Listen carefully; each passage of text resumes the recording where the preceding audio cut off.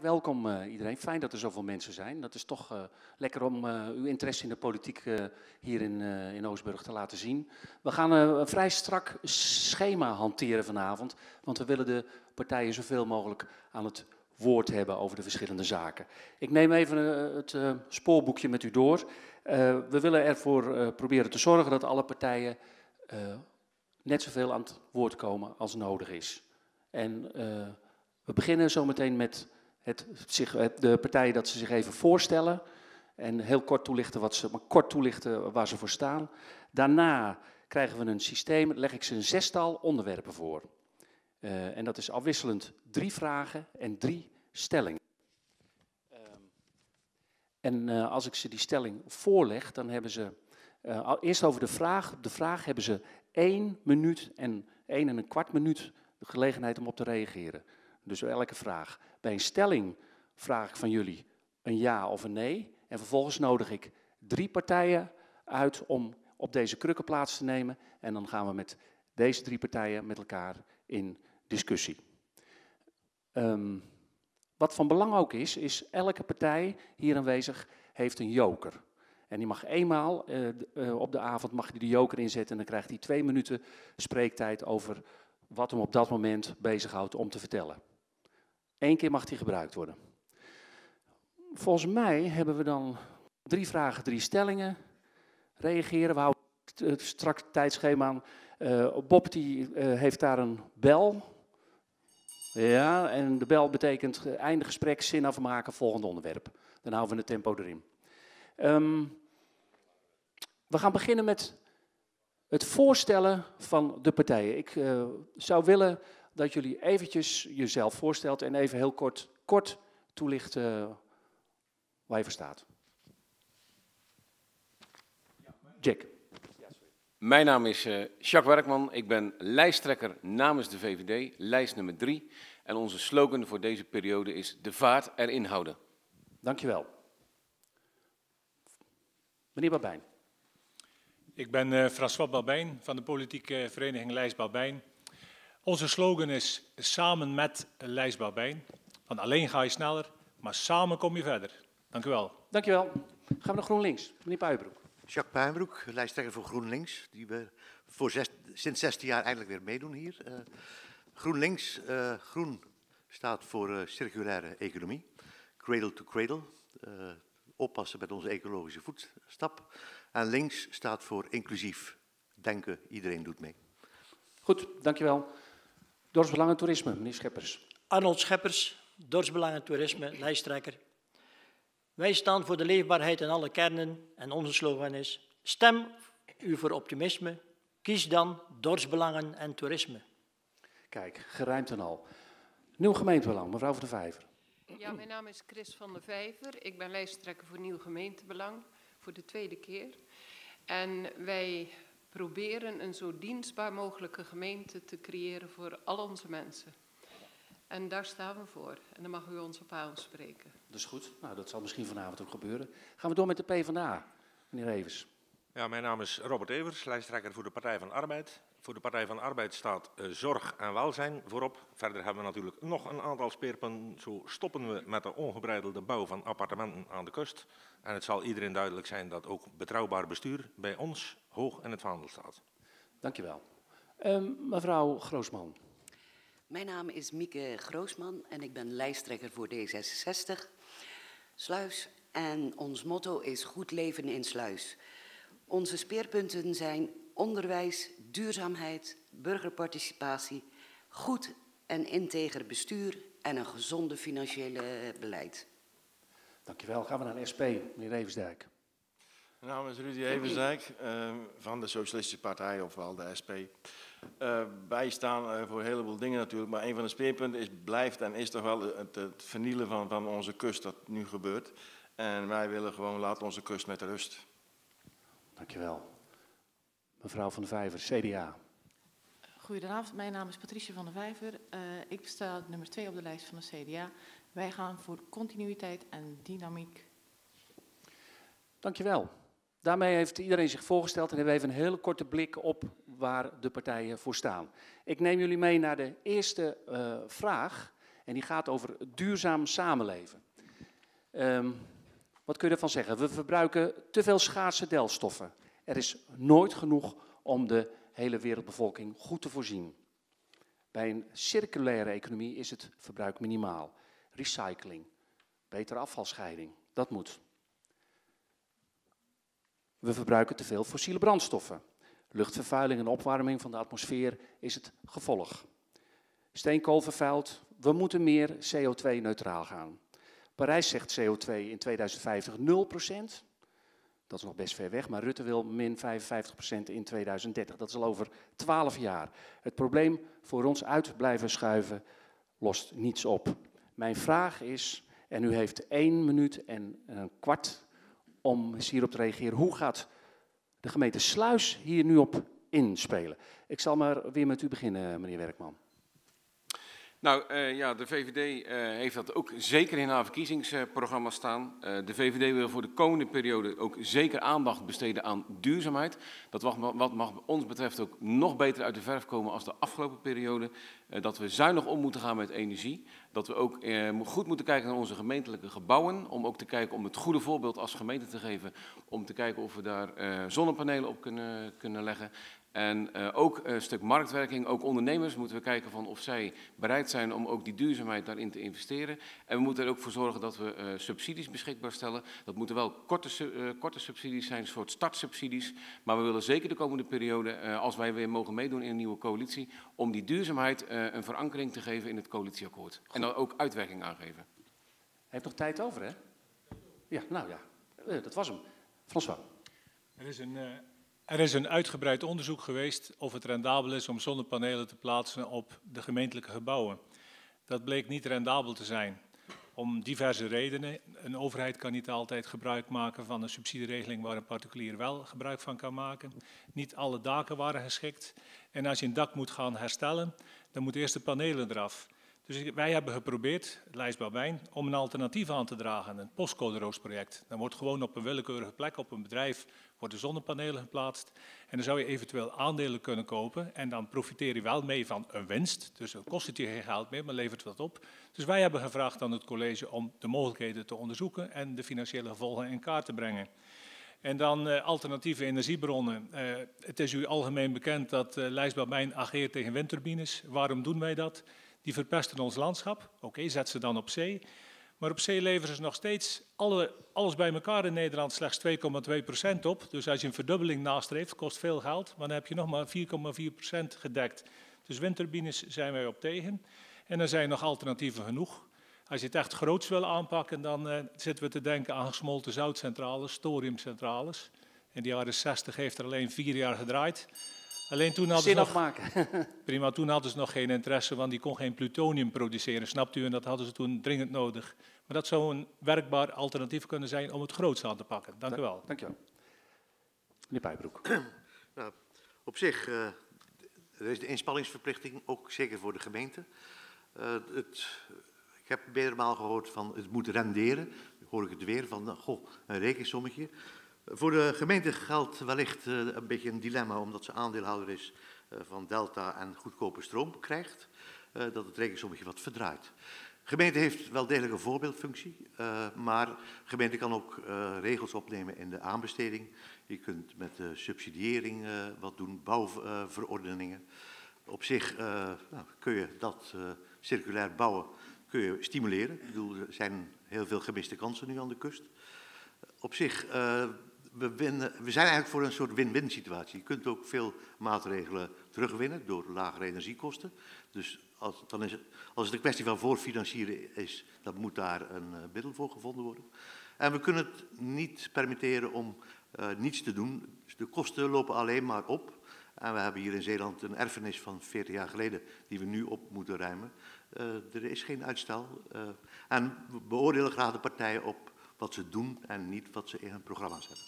Ja, dat is precies op tijd. Dankjewel. Arnold Scheppers. Uh, duurzaam uh, samenleven. Uh, wij zijn voor betere voorlichting aan de burger voor het afval te scheiden. dat levert geld op. vooral als je kijkt naar de Milieustraat, als je ziet hoeveel vreemde kentekens daar staan en dat men kan afvragen of dat daar wel voor betaald wordt. Dus vandaar zouden wij pasjes willen invoeren dat het uiteindelijk de afval daar door de juiste mensen afgeheven kan worden. Daarnaast zouden we ook, hebben we al eens voorgesteld, is weer van de raadsagenda afgehaald, dat is het chippen van containers. Om eigenlijk te voorkomen dat er mensen zijn die een dubbele container in verschillende straten zetten. Dus de ene keer zetten ze hem hier, de andere keer daar. Dat uiteindelijk hierop neerkomt dat de vervuiler betaalt. Daarnaast is uh, visie duurzaam 2013, 2019. Nou, daar is in deze periode ontzettend weinig uh, aan gedaan, dus er zal ook iets moeten gedaan worden. En dat betreft ook de gemeente. De gemeente legt op dit moment alle soorten eisen op aan derden voor milieumaatregelingen, maar ze doen zelf uiteindelijk bijna niks. Daarnaast zijn wij voor oplaadpalen op uh, verschillende particuliere uh, parkeerplaatsen, openbaar uiteindelijk, moet ik zeggen, niet particulier, maar openbaar, maar in samenwerking met Shell onder andere om daar laadpalen te zetten. Prima, dankjewel. Mevrouw van der Vijver. Ja, terwijl ik iedereen hoor, heb ik zo'n zin om erop te reageren, maar dat mag even niet, denk ik. Ja, maar misschien zo nog even. Straks, oké. Okay. Um, nieuw gemeentebelang erkend, heb ik eerder deze week ook, ook al gedaan, dat we wellicht meer hadden kunnen doen op het gebied van duurzaamheid. Maar dat is ook een actie die tussen de oren moet komen te zitten, zowel bij bestuurders als bij de burgers. Um, er zijn nu best wel wat initiatieven, onder andere een uh, afspraak die gemaakt gaat worden met een particulier bedrijf uit de regio om elektrische laadpalen overal neer te zetten in de gemeente. Dus dat vind ik zelf heel positief. Uh, ook wat de postcode roos projecten betreft voor zonnepanelen op daken, daar verleent de gemeente ook medewerking aan. En hopelijk kunnen we deze periode ook zelf als gemeente daarbij aansluiten. En wat wellicht ook een hele goede is de komende periode met alle nieuwbouw aan de kust, dat we ervoor zorgen dat woningen nul op de meter hebben. Dat ze dus energie-neutraal kunnen gebouwd worden en gebruikt worden. En uh, ja, er is nog wel afvalscheiden, maar ik wil het hier even bij laten. Goed, dank u wel. Meneer Rees. Ja, klopt. Precies op tijd. Ja. Ja, op gebied van duurzaamheid loopt de gemeente Sluis eh, heel ver achter. De afgelopen jaren is er op initiatief van de Partij van de Arbeid een visie op duurzame energie vastgesteld, gevolgd door een duurzaamheidsvisie. En er is helemaal niks van uitgevoerd. Elke maatregel is tegengehouden door de huidige coalitiepartijen. Um, in ons verkiezingsprogramma staan er heel veel concrete maatregelen over duurzaamheid. Zonnepanelen, uh, uh, verduurzaming van gemeentelijke gebouwen, uh, te veel om op te noemen in deze korte spreektijd. Maar het wordt hoog tijd dat de gemeente ehm, ook iets gaat doen, maar we zien nu dat inwoners en bedrijven veel sneller lopen dan de gemeente die eigenlijk het voorbeeld zou moeten geven. Ik zou zeggen, lees ons programma, laat de Partij van de Arbeid een lokale klimaatagenda opstellen en een lokale klimaatverordening en wij zullen de gemeente Sluis verduurzamen. Dankjewel. Mevrouw Groosman. Uh, D66 uh, is het eens met de uh, vorige spreker en er moet nu een uitvoeringsprogramma komen met een budget voor duurzaamheid. Uh, de gemeente kan uh, duurzaamheid stimuleren door uh, energie-neutraal te gaan bouwen, braakliggende industrieterreinen ook te benutten voor zonneweides. Uh, betere informatie uh, ten behoeve van het uh, scheiden van afval. En wat landbouw betreft zou ik zeggen dat, dat er meer mogelijkheden voor innovatieve landbouw mogelijk moeten zijn en de regels daarvoor ook minder stringent maken. Dat was hem. Ja. Meneer Evensdijk. Ja, dank u wel. Ja, er is veel gezegd. Ik bedoel, wij zijn ook natuurlijk voor zonnepanelen en, en op industrieterreinen waar uh, braak liggen, die hebben we genoeg. Uh, kun je complete zonneweiden leggen. Ik, bedoel, kan op de scholen kan je zonnepanelen leggen. Maar je kan ook eens beginnen met, met, met het wagenpark van de gemeente Sluis. Die bestaat uit heel veel bestelauto's. Die rijden ongeveer 50, 60 kilometer op een dag.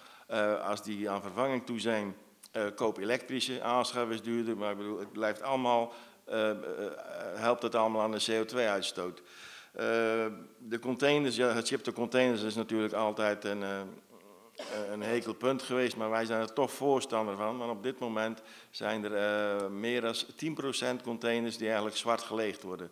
Als je een gechipte container hebt en die staat op een plaats, dan wordt die daar geleegd. Staat hij op een andere plaats, wordt die niet geleegd. Dat was het, dank u. Mevrouw van der Vijver. Dank u wel.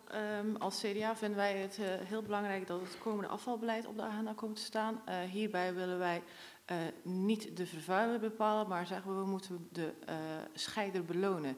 Hierbij wil, willen we kijken of het mogelijk is om het DEFTART eventueel in te voeren, waarbij er maar een aantal keer dat u eigenlijk moet betalen naar aan de hand van een aantal ledigingen dat u doet. Dus hoe minder vaak u uw container aan de straat zet, hoe minder u moet betalen. Daarmee wordt u eigenlijk beloond in plaats van gestraft. En zo proberen wij dan de burgers te stimuleren. Ook de gechipte containers, zoals mijn buurman net zei, er zijn heel wat mensen die een dubbele container hebben. Door die uh, containers te chippen kunnen we die er ook uithalen.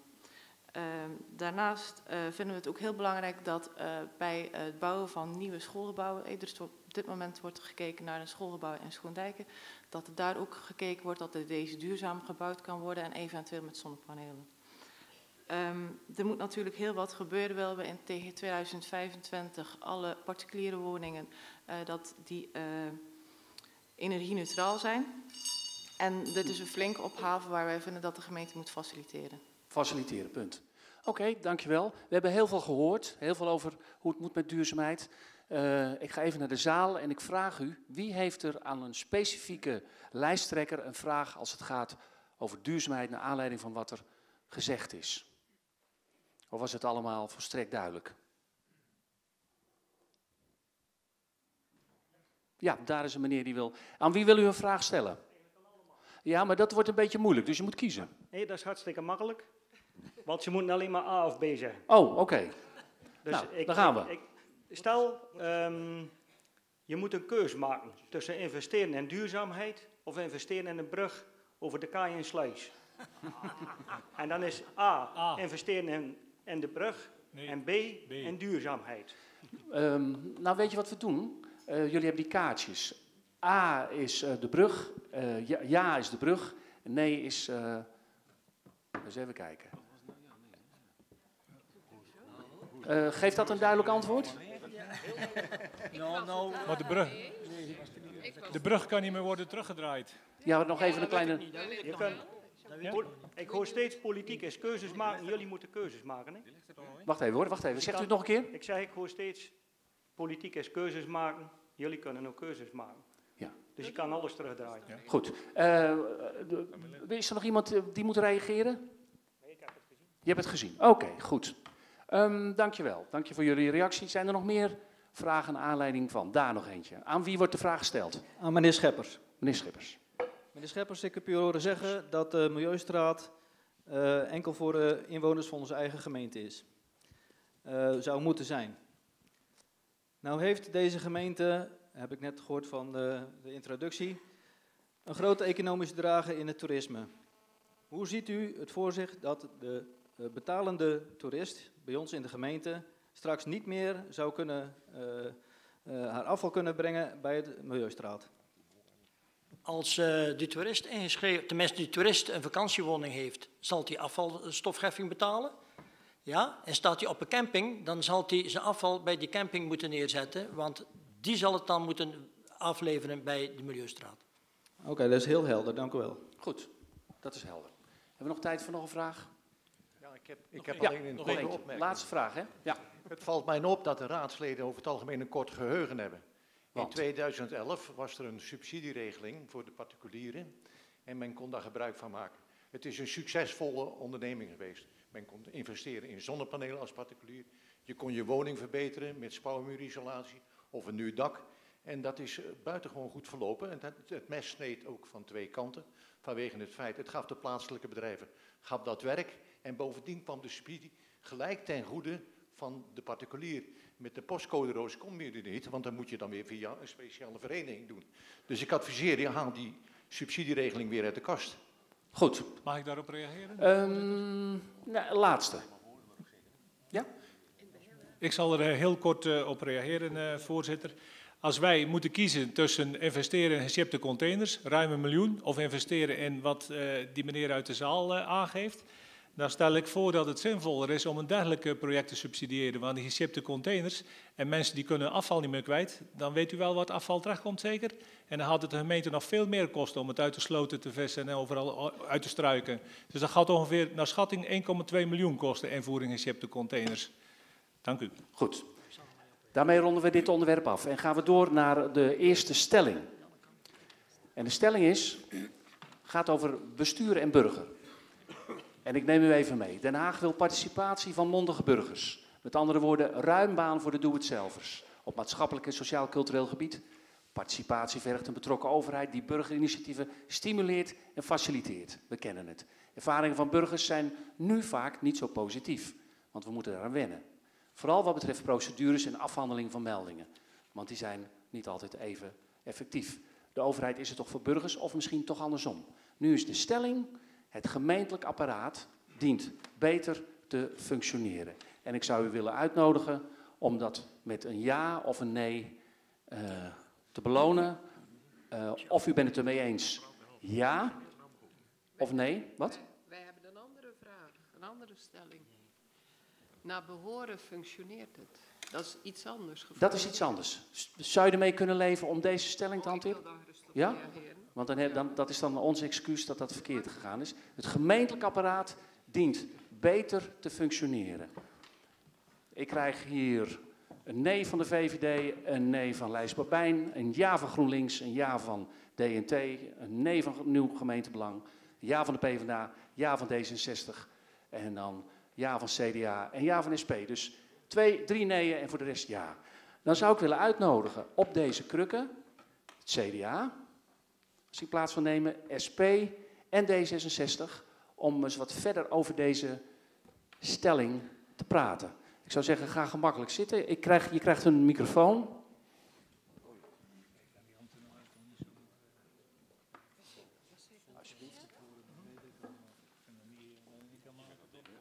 Ja, dat is even wat praktisch. Zo, nog eentje.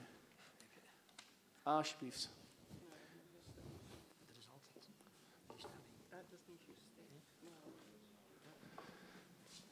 Eens even zien, voor, mijn administratie.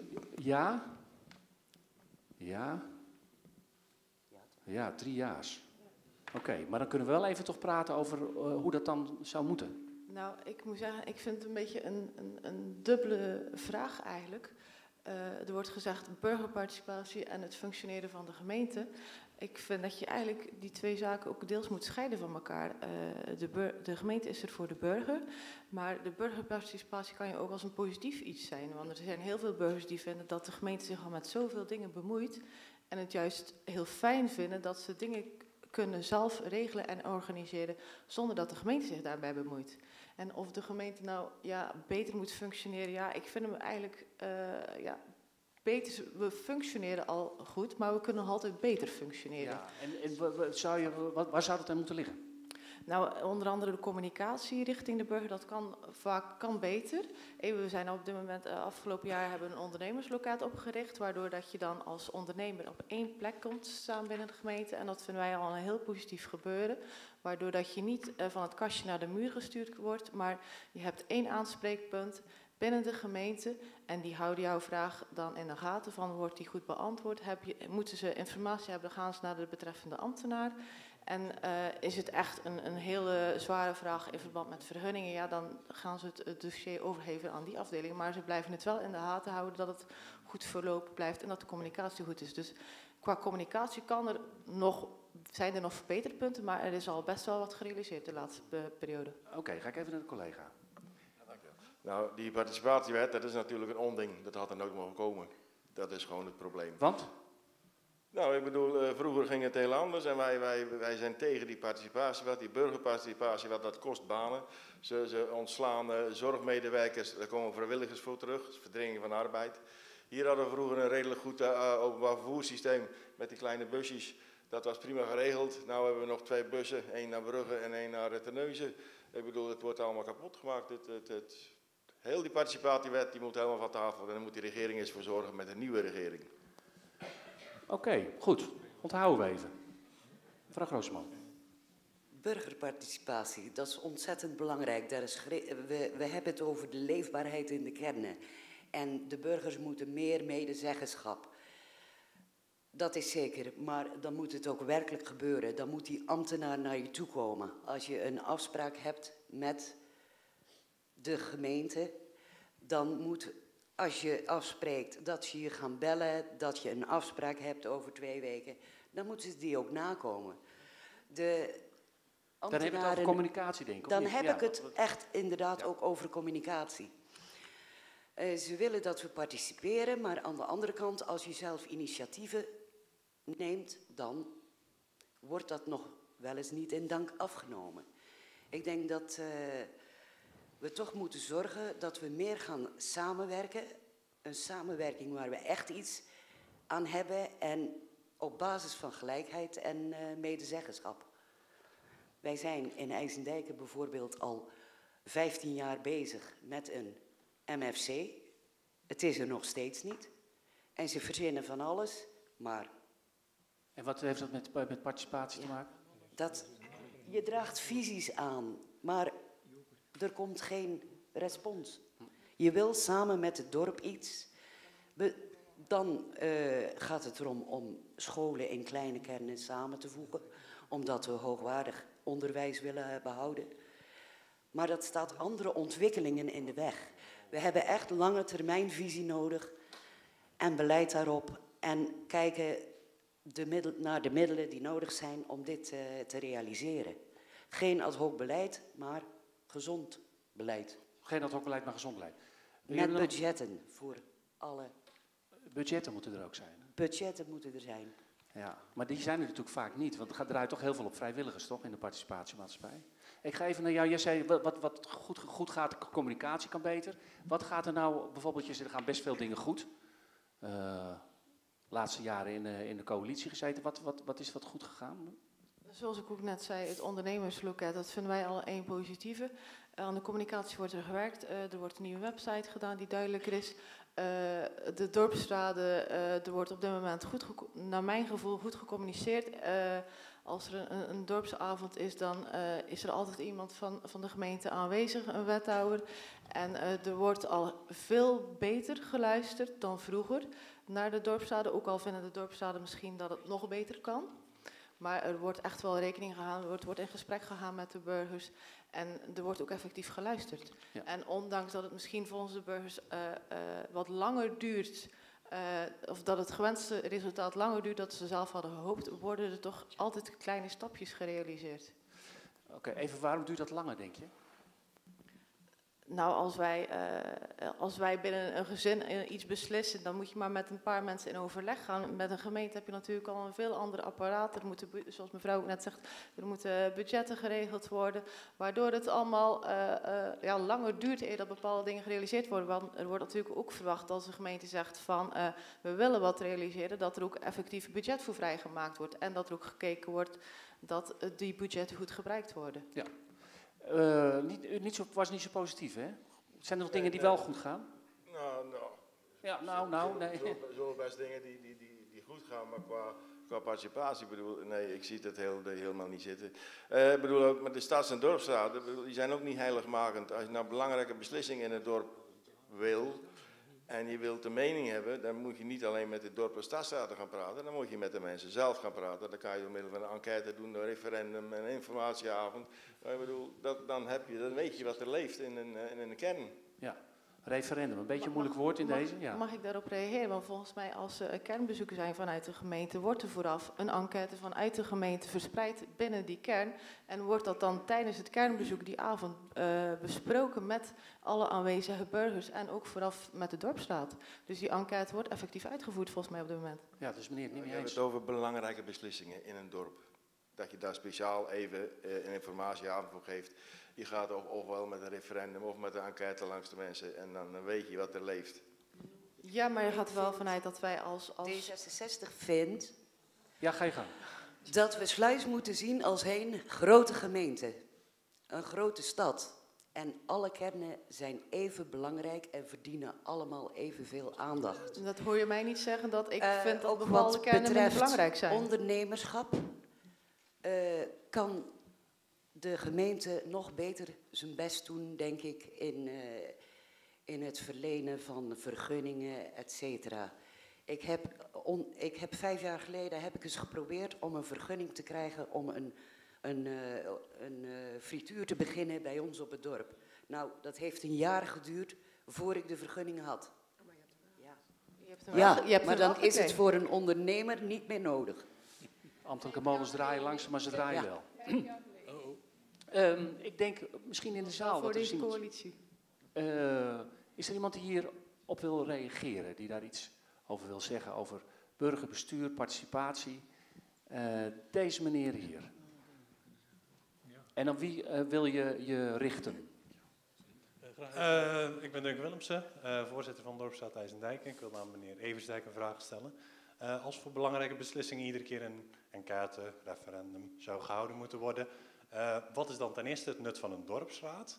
En dan is de vraag die daarop gaat, wat is dan het nut van een raad? Wat is het nut dan van een dorpsraad en van een raad?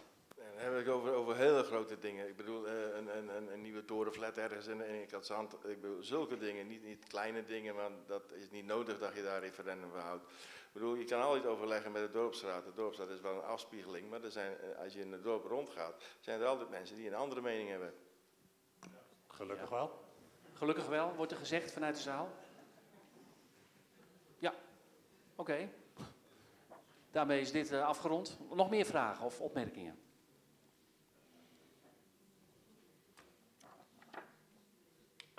Een joker. Een joker. joker. Oh ja. Ga je gang. Een joker. Twee minuten. Ja, sorry, een joker. Twee minuten voor meneer Puijbroek. Uh, bestuurlijke vernieuwing uh, staat bij ons hoog op de agenda. En dat moet structureel zijn. Uh, de communicatieve gemeente. bijvoorbeeld, een beleid moet open zijn voor inspraak voordat er een commitment ligt van het bestuur. Meer uh, zienswijze maken een beter beleid. Nu gebeurt het eigenlijk vaak achteraf, wil slikken of stikken. Dus uh, raadscommissies, informerende raadscommissies, voordat nieuw beleid gestart wordt. En elk beleid ook bijvoorbeeld een communicatieparaaf. Hoe gaan we over dit beleid communiceren? En achteraf graag ook meten. Hebben we onze doelen bereikt? Uh, burger, uh, of tenminste kernraden noemen wij het, dorps- en stadsraden, moeten ja, opgetuigd worden, nog verder een rol krijgen. Dat is een proces. Moet ondersteund worden door de gemeente met ondersteunende ambtenaren, misschien vakantiegelden uh, en ook een beetje uniforme regelingen over de gemeente heen. Dat vergt tijd, maar ze hebben een belangrijke signaalfunctie, een podiumfunctie, ook om beter beleid te helpen te genereren. Nou, zo zijn er nog uh, meer dingen te bedenken. Het, ja, bijvoorbeeld, het, het, kan maar, uh, ja, ja, ik wacht tot de bel. Uh, the right to challenge, wanneer groepen burgers vinden dat het beleid van de gemeente niet goed is, dat ze het recht krijgen om eigen beleid voor te stellen. nou, dat soort eigenlijk structurele zaken moeten helpen om die gemeente veel communicatiever te worden. En betrokkenheid, want dat is toch de basis voor de toekomst. En wat misschien ook geldt, helpt, is als we een lange termijnvisie hebben. Als we het hebben over kansen en participatie, als je vanuit een visie uh, werkt van, nou, daar willen we over 50 jaar uh, staan, is het ook veel makkelijker om te anticiperen als ondernemers, als burgers, verenigingen. Dus uh, ook communicatie, gemeente, laten we, we zijn bezig met, we zijn goed bezig met allerlei dorpen en plannen verder gaan. Goed, nou, zo'n joker zet je niet voor niks in, dankjewel. Uh, oh, nog, nog een joker. Ja. Meneer Evers. Ja, ik wil... Doet dat ding het of niet? Oh. Jij doet het. Ja, nou dan zou ik even terug naar de stelling willen gaan. En de stelling was volgens mij, het, het ambtelijk apparaat in onze gemeente dient beter te functioneren. Uh, daar heb ik ja op gezegd. In eerste instantie uh, wil ik dat een, uh, een, klein stukje nuanceren. Het is natuurlijk niet, als ik zeg dat het beter dient te functioneren, dat nu alles slecht is. we hebben een heleboel ambtenaren in dienst en een heleboel werken hard en doen ook goed werk. Ja. Maar zoals, in elke organisatie uh, gaat er ook hier uh, zaken fout. En wij krijgen nog steeds klachten van mensen die bijvoorbeeld naar Portos gaan en daar vier weken moeten wachten op een antwoord. Uh, en dergelijke. daar hebben ze al geluk dat die mensen überhaupt naar Portos zijn gegaan, dat ze dat hebben kunnen vinden. Want de meeste mensen in onze gemeente die weten helemaal niet dat Portos überhaupt bestaat, laat staan dat ze weten wat ze doen. Verder zal het een aantal mensen waarschijnlijk niet ontgaan zijn wat er gisteren is gebeurd. Um, voor ons is een overheid, een gemeente, die is er voor haar inwoners.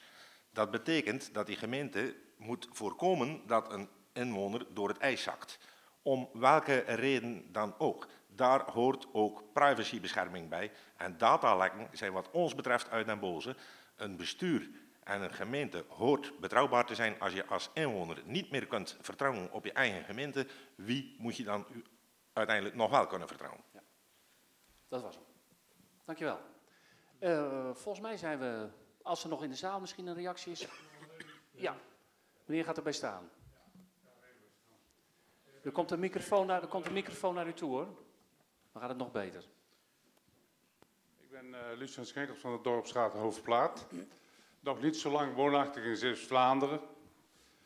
Uh, vrij actief, uh, wel op alle gebied. we zijn bij de Vereniging van Zeeuwse Kleine Kernen geweest. Bij de protestants-christelijke gemeenschap die, die vergaderingen belegt over inspraak en dergelijke. En wat mij toch wel dan even van het hart moet, is dat ik overal bij al die vergaderingen vertegenwoordigers tegenkom van Terneuzen en van Hulst, maar nooit van Sluis. Dus al die initiatieven die ontplooid worden vanuit de burgers, zie je niemand van de gemeente Sluis. Ja. En dat wou ik wel even kwijt. Oké, nou dan is dat gezegd. Oh, daar gaat meteen naast u ook iemand staan. Die gaat wel even We hebben nog één minuut. Nog één minuut, ja. Nou, dat komt om. Uh, zo? Ja, doe het. Uh, er is ook een uh, plattelandsparlement. Afgelopen jaar stond dat in teken, dus de kanteling van de, van de organisatie van de gemeente. He, uh, het noorden, zuiden en het westen hebben ze dan bijvoorbeeld dat de front office van die gemeentehuizen, dat die dus veel groter werd. Die gingen de zitting houden in dorpsraad. En de back office is veel kleiner. Dus als ze dus hulp nodig hebben vanuit die front office, dan gaan ze dat regelen. Dat is een hele zaal vol met burgemeesters en nog een keer burgemeesters uh, kort geleden dus ook uitgestapt zijn. En die zei dat wij voorbij. We zaten ook in een gemeentehuis, wat betreft het ook al opgedoekt was, omdat je dus in een nieuwe stijl niet zoveel ruimte nodig hebt. En alleen die specialisten die zorgen dat de wensen van de burgers zoveel mogelijk en toetsen ook of het juridisch in wat, die blijven dan de gebouw en de gemeente. En de rest zat gewoon in, op locaties in de gemeente. Er komt dan binnen en de burger heeft een probleem. En is niet van toets 1, toets 2, toets 3. Het wordt pas geregeld als het, uh, als, als, het geregeld is. Als het geregeld is. Samen met bedrijfsleven en de hele mikbak. Los van de politiek. Dankjewel. Dankjewel. Willen jullie gaan zitten? Dan gaan we door naar de volgende uh, vraag. En die betreft uh, een heikel punt in, hier, maar ook in heel Zeeuws-Vlaanderen. Het onderwijs. Niet dat de kwaliteit van het onderwijs niet goed is, maar wel dat de leerlingenaantallen afnemen. De leerlingenaantallen dalen steeds verder. In diverse kernen worden scholen gesloten. De fusiebereidheid van Escalda en Scoba lijkt gering. Het Swin College heeft voorlopig nog net het vege lijf gered. Jonge mensen vertrekken door gebrek aan huisvesting aan werk. Opvang van peuters is in België veel beter geregeld. En dat is een oorzaak van de weglek van leerlingen. Beleid is meer op senioren gericht dan op jonge gezinnen. Investering in opvang van kinderen van 2 tot 12 is noodzakelijk. En dat leidt tot de, tot de tot de vraag, hoe moeten deze problemen volgens u, uw partijen, worden aangepakt? Uh, en iedere partij heeft daar één, weer één minuut en 15 seconden voor. Uh, misschien begin ik nu eens aan de andere kant. Anders, ja. Um, nou, uh, de startersgroepen, daar uh, wordt op dit moment aan, uh, druk aan gewerkt. dat wil zeggen van de jongeren Microfoon van... wat dichter bij u houden. Voor de jongeren van 0 tot, tot en met 4 jaar wordt er op dit moment heel hard, uh, onder andere door onze wethouder, uh, gewerkt om uh, financiële middelen binnen te krijgen om startersgroepen te realiseren.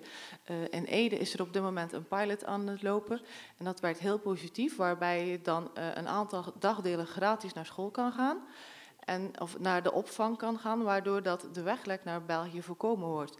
Dat vinden wij een heel positief iets en wij hopen dat het ook heel vlug uh, uitgerold wordt naar andere kernen die in het grensgebied wonen, zoals Sluis, Aardenburg en Katzand, waar, waar je kan zien dat op dit moment de weglek naar België het grootst is. Dus wij vinden het al een heel uh, positief gebeuren. Um, daarnet uh, had hij het ook over dat uh, er heel wat senioren, levensloopbestendige woningen wordt gebouwd. Dus dat het eigenlijk voornamelijk gericht is op senioren. Maar wij zijn ook van mening dat een levensloopbestendige woning is niet alleen van toepassing voor senioren, maar dat er kunnen ook gewoon jonge gezinnen in wonen. Ja, kijk, dankjewel. Ja, geen gang meneer Reesdijk. Ja, dankjewel. Uh, mijn collega had het er al over de, starters, de starterswoningen, wou ik zeggen. De, de startersgroepen, uh, die zijn dus echt wel nodig, want ik bedoel, het wegleggen naar België is een groot punt. En als ze eenmaal in België zitten, dan gaan ze daar ook hun vervolgopleiding doen. Dus dan kom je hier in problemen met het Swin College. Het Swin College is nou gered door de gemeente, provincie en, het Rijk. Maar wij zijn nog steeds van mening, we blijven van mening, dat onderwijs en, en iets is wat het Rijk moet betalen. Niet de gemeente, niet de provincie. Maar we hebben dat natuurlijk wel gemoeten, omdat anders uh, deze school dicht moet. En deze school moet echt bewaard worden voor, voor West-Vlaanderen. Want ik bedoel, de afstanden zijn te groot naar Terneuzen of naar Vlissingen. En dat was het. Goed, dankjewel. Ja, gelijke kansen voor iedereen. D66 maakt zich hard voor het beste onderwijs. En dat geldt voor de, een, een doorgaande leerlijn binnen de regio van 0 tot 20. Uh, startersgroepen moeten inderdaad om de weglek te voorkomen uh, gevormd worden. En het liefst gratis. Uh, we zijn, D66 is tevens voorstander van het fuseren van openbaar en bijzonder onderwijs. Ook op het voortgezet uh, onderwijs gaat alles samen, dus waarom ook niet uh, in het uh, basisonderwijs. We zetten ons in om het Swin College voor de regio te behouden en we willen onderwijs van hoge kwaliteit dat aansluit op onze arbeidsmarkt. Dat als de jongeren die gaan studeren en weer terugkomen hier, hier een baan kunnen vinden. Dat was hem. Ja. Dank je. Meneer Evers. Ja, onderwijs is um, uh, van immens belang, uiteraard. Um, wij staan voor goed, toegankelijk en betaalbaar onderwijs voor iedereen. En om dat ook in de toekomst te borgen, zetten we startgroepen op. Startgroepen waar uh, kinderen vanaf twee jaar uh, vijf dagdelen per week spelenderwijs elkaar kunnen ontmoeten. En we zorgen ook dat dat gratis is. Wij zijn bereid om als gemeente hierin te betalen en te investeren. Um, Scoba en Escalda die moeten wat ons betreft fuseren. Juist om zaken die toch al moeilijk zijn, niet onnodig nog moeilijker uh, te laten blijven eigenlijk. Uh, basisschool die zullen we stimuleren om zich om te vormen tot integrale kentcentra. En als we dan kijken uh, naar het voortgezet onderwijs, we zijn blij dat het Sven College hier voorlopig nog is. Wij steunen het reddingsplan zoals er dat ligt. Maar ik zou er toch ook voor waken om al te zeer Hosanna te roepen, uh, zoals ik hier meerdere mensen hoor doen. Dat reddingsplan dat wordt nu nog maar gemaakt. En ik denk dat we zwaar de vinger aan de pols moeten houden dat er ook daadwerkelijk iets van komt. Dankjewel. Mevrouw van der Vijver, nieuw gemeentebelang. Ja, natuurlijk. Uh, aan wie het ook vraagt. Iedereen zegt dat ons Swin College behouden moet blijven. Dat vinden jullie ook allemaal. Wij hier ook achter die tafel. Toen vorig jaar ineens alle seinen op rood stonden, dat die school misschien in augustus dicht zou gaan, toen is er gigantische actie ondernomen, zowel door de gemeente als door de provincie als door de overheid zelf. Hebben we ook toegezegd om vier jaar lang een flinke financiële injectie uh, te steken in het Swin College. Maar ik deel toch wel een beetje de zorg van meneer Evers. Als je de ontwikkeling ziet dat er per drie jaar 100 leerlingen minder hier komen.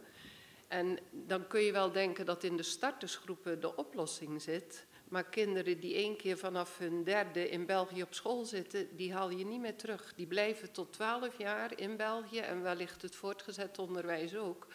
Ik ondersteun het natuurlijk, de opzet van die startersgroepen. Daar moeten we geld voor over hebben. En je kunt alleen maar hopen of dat het effect zal geven wat we allemaal hopen. Ja. Nou. Dat kan nooit, hè? Ja, dat is echt... Ja, nou. hij is heel, heel objectief. Moet je nog een minuutje van Nee. Meneer Scheppers. um, ja, ook wij uh, zijn natuurlijk voor het onderwijs, maar wat begint het uiteindelijk mee? Het begint uiteindelijk met uh, de jonge gezinnen uh, hier te krijgen. Want dat is het voornaamste uiteindelijk voor het onderwijs. En natuurlijk, we verschillen allemaal niet zoveel hoor, maar we willen allemaal het onderwijs. En het liefst het onderwijs huis nabij. Startgroepen, natuurlijk onderzoeken. Alleen kan het gratis, zullen we even moeten kijken hoe dat gaat. Het Swin College, prima.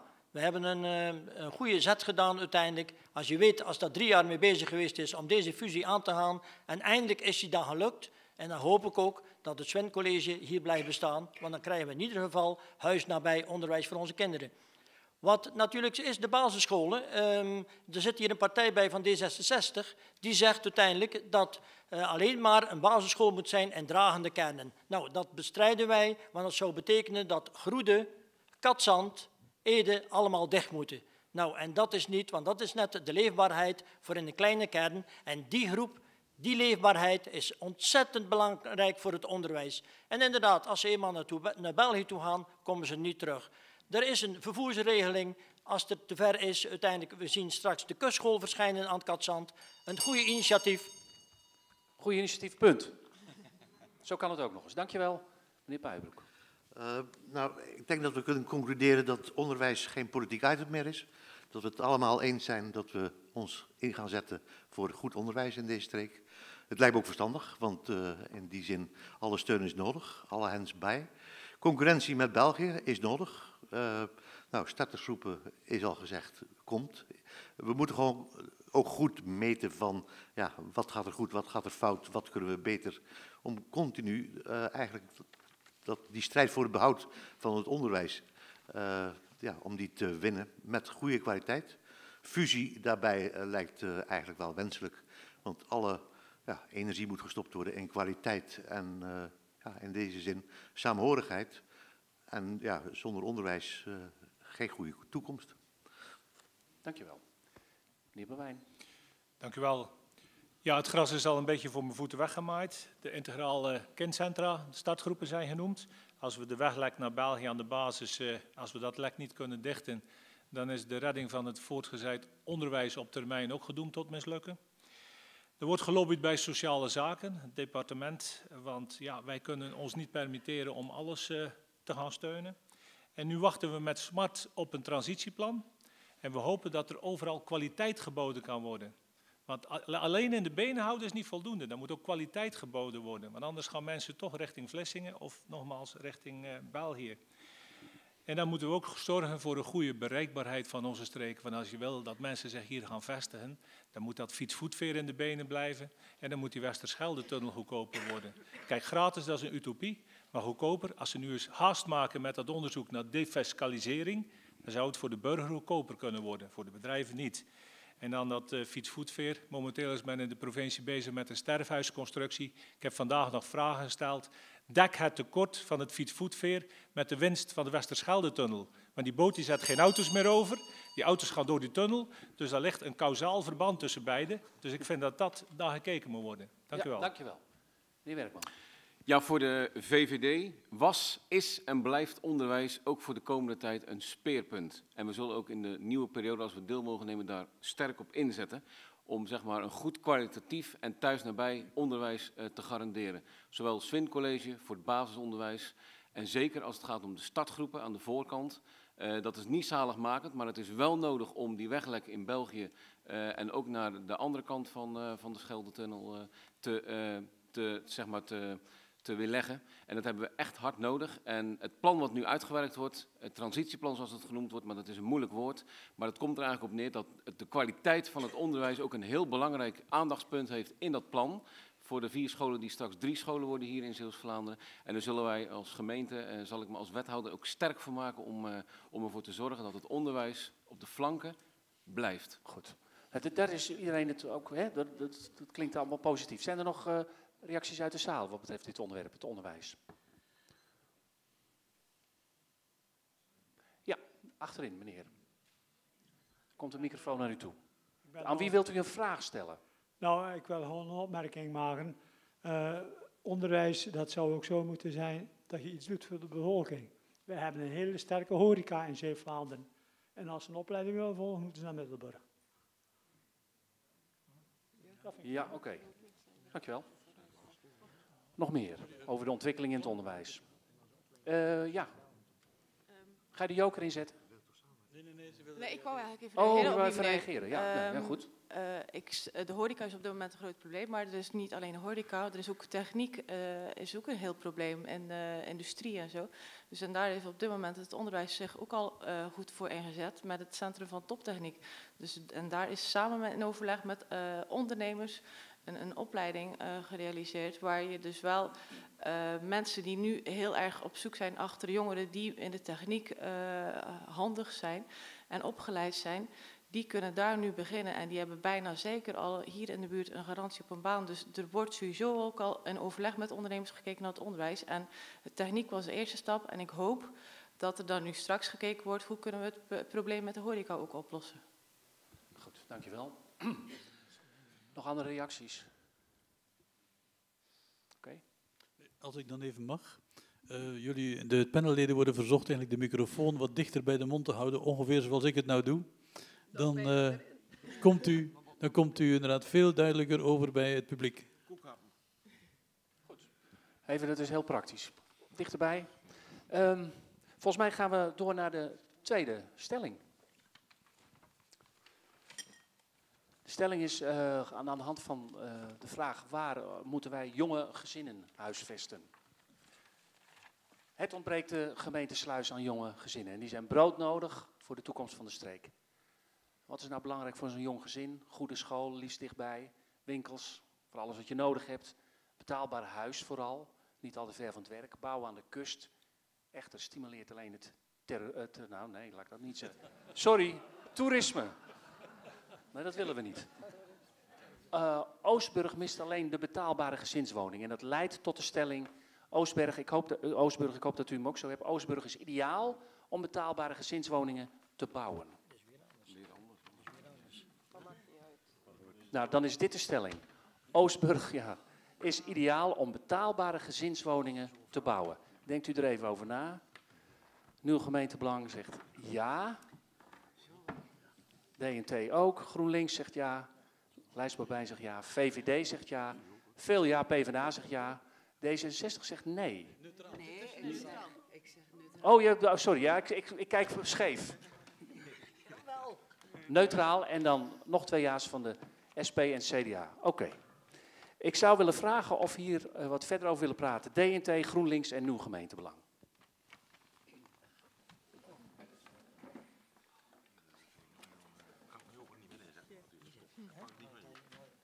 Oh ja, dat is goed. Pak mee. Ja.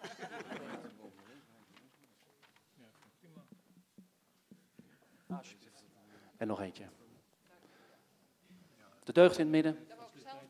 Oh, oké. U was het eens met de stelling, meneer Puijenbroek, of niet? U was eens met de stelling. Eh, Oostburg is heel geschikt om eh, woningen te bouwen. Eh Groede ook, denk ik. Ik, bedoel, eh, ik zou niet weten welke gemeente of welke plaats niet. Eh, dus je moest je wel eens zijn. Er is wel een probleem. Er is een probleem, ja. eh, vooral voor starters. Eh, en ja, dat is ook eerder in, aan de orde gekomen.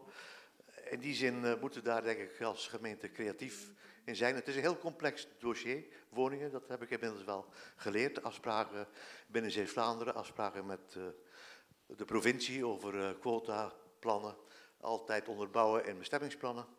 Eh, een lans voor ja, tiny houses of... eh, kijk, problemen moeten opgelost worden. Mensen moeten hier kunnen wonen. Dus in die zin misschien creatief zijn, maar dat is complex. Eh woningbouwvereniging natuurlijk aanspreken op haar verantwoordelijkheid om gewoon betaalbare woningen te bouwen. Eh, ja, dat zal ook iedereen met elkaar eens zijn. Eh, er is wat creativiteit nodig. De tweede huisverordening helpt niet. Ik bedoel, de leefbaarheid in de dorpen wordt er niet beter van. De huisprijs wordt eh, verhoogd ermee. Eh, in die en de leefbaarheid, ja. Dus dat helpt niet om ook in de dorpen zelf eh, betaalbare huizen te krijgen. En ja, misschien moeten we meer eh, stimuli bedenken om oude huisjes die we te veel hebben op te knappen. Eh, maar ja, in die zin, dat laat zich moeilijk sturen. Goed, even tot hier. Ja, natuurlijk is Oostburg geschikt om huizen te bouwen voor jonge gezinnen.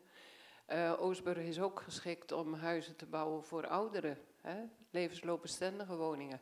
Maar niet alleen Oostburg, wij vinden dat elke kern daar geschikt voor is. Maar er is één probleem, zoals mijn buurman al zei. De provincie en de woningbouwvereniging hebben samen met de gemeente aantallen vastgelegd die je zou mogen bouwen in elk dorp. En, ja, het is een wachttijd van anderhalf jaar, begreep ik toch? Nou, voor de beschikbare woningen. Hè? Maar um, onderzoek heeft ook uitgewezen dat er een heleboel woningen in onze gemeente gewoon leeg staan. Ik geloof dat er iets van meer dan duizend woningen verspreid over de hele gemeente eigenlijk overtollig zijn. Uh, die zijn vaak niet duur, maar niemand wil ze meer kopen. Wel af en toe nog een toerist als recreatiewoning, die knappen ze dan ook vaak op. En het typisch is ook, mensen zeggen altijd, er zijn geen woningen voor jonge gezinnen. Maar we hebben bijvoorbeeld in Aardenburg tot drie keer toe bijna geprobeerd om daar een projectje op te starten voor starters. En er waren gewoon geen gegadigden om die projecten te kunnen laten doorgaan. Um, in Aardenburg gaat het nu wel goed komen, want er komt een nieuw plan met een andere doelgroep. Maar ja, wij vinden met z'n allen ook weer, net als u, dat je in elk dorp, in elke kern de mogelijkheid moet hebben om te bouwen. En het idee van de tiny houses, dat is een hele nieuwe ontwikkeling. Kleine huisjes voor alleenstaanden. Daar zou je een heleboel werknemers in onze horeca, in onze recreatieve sector kunnen huisvesten.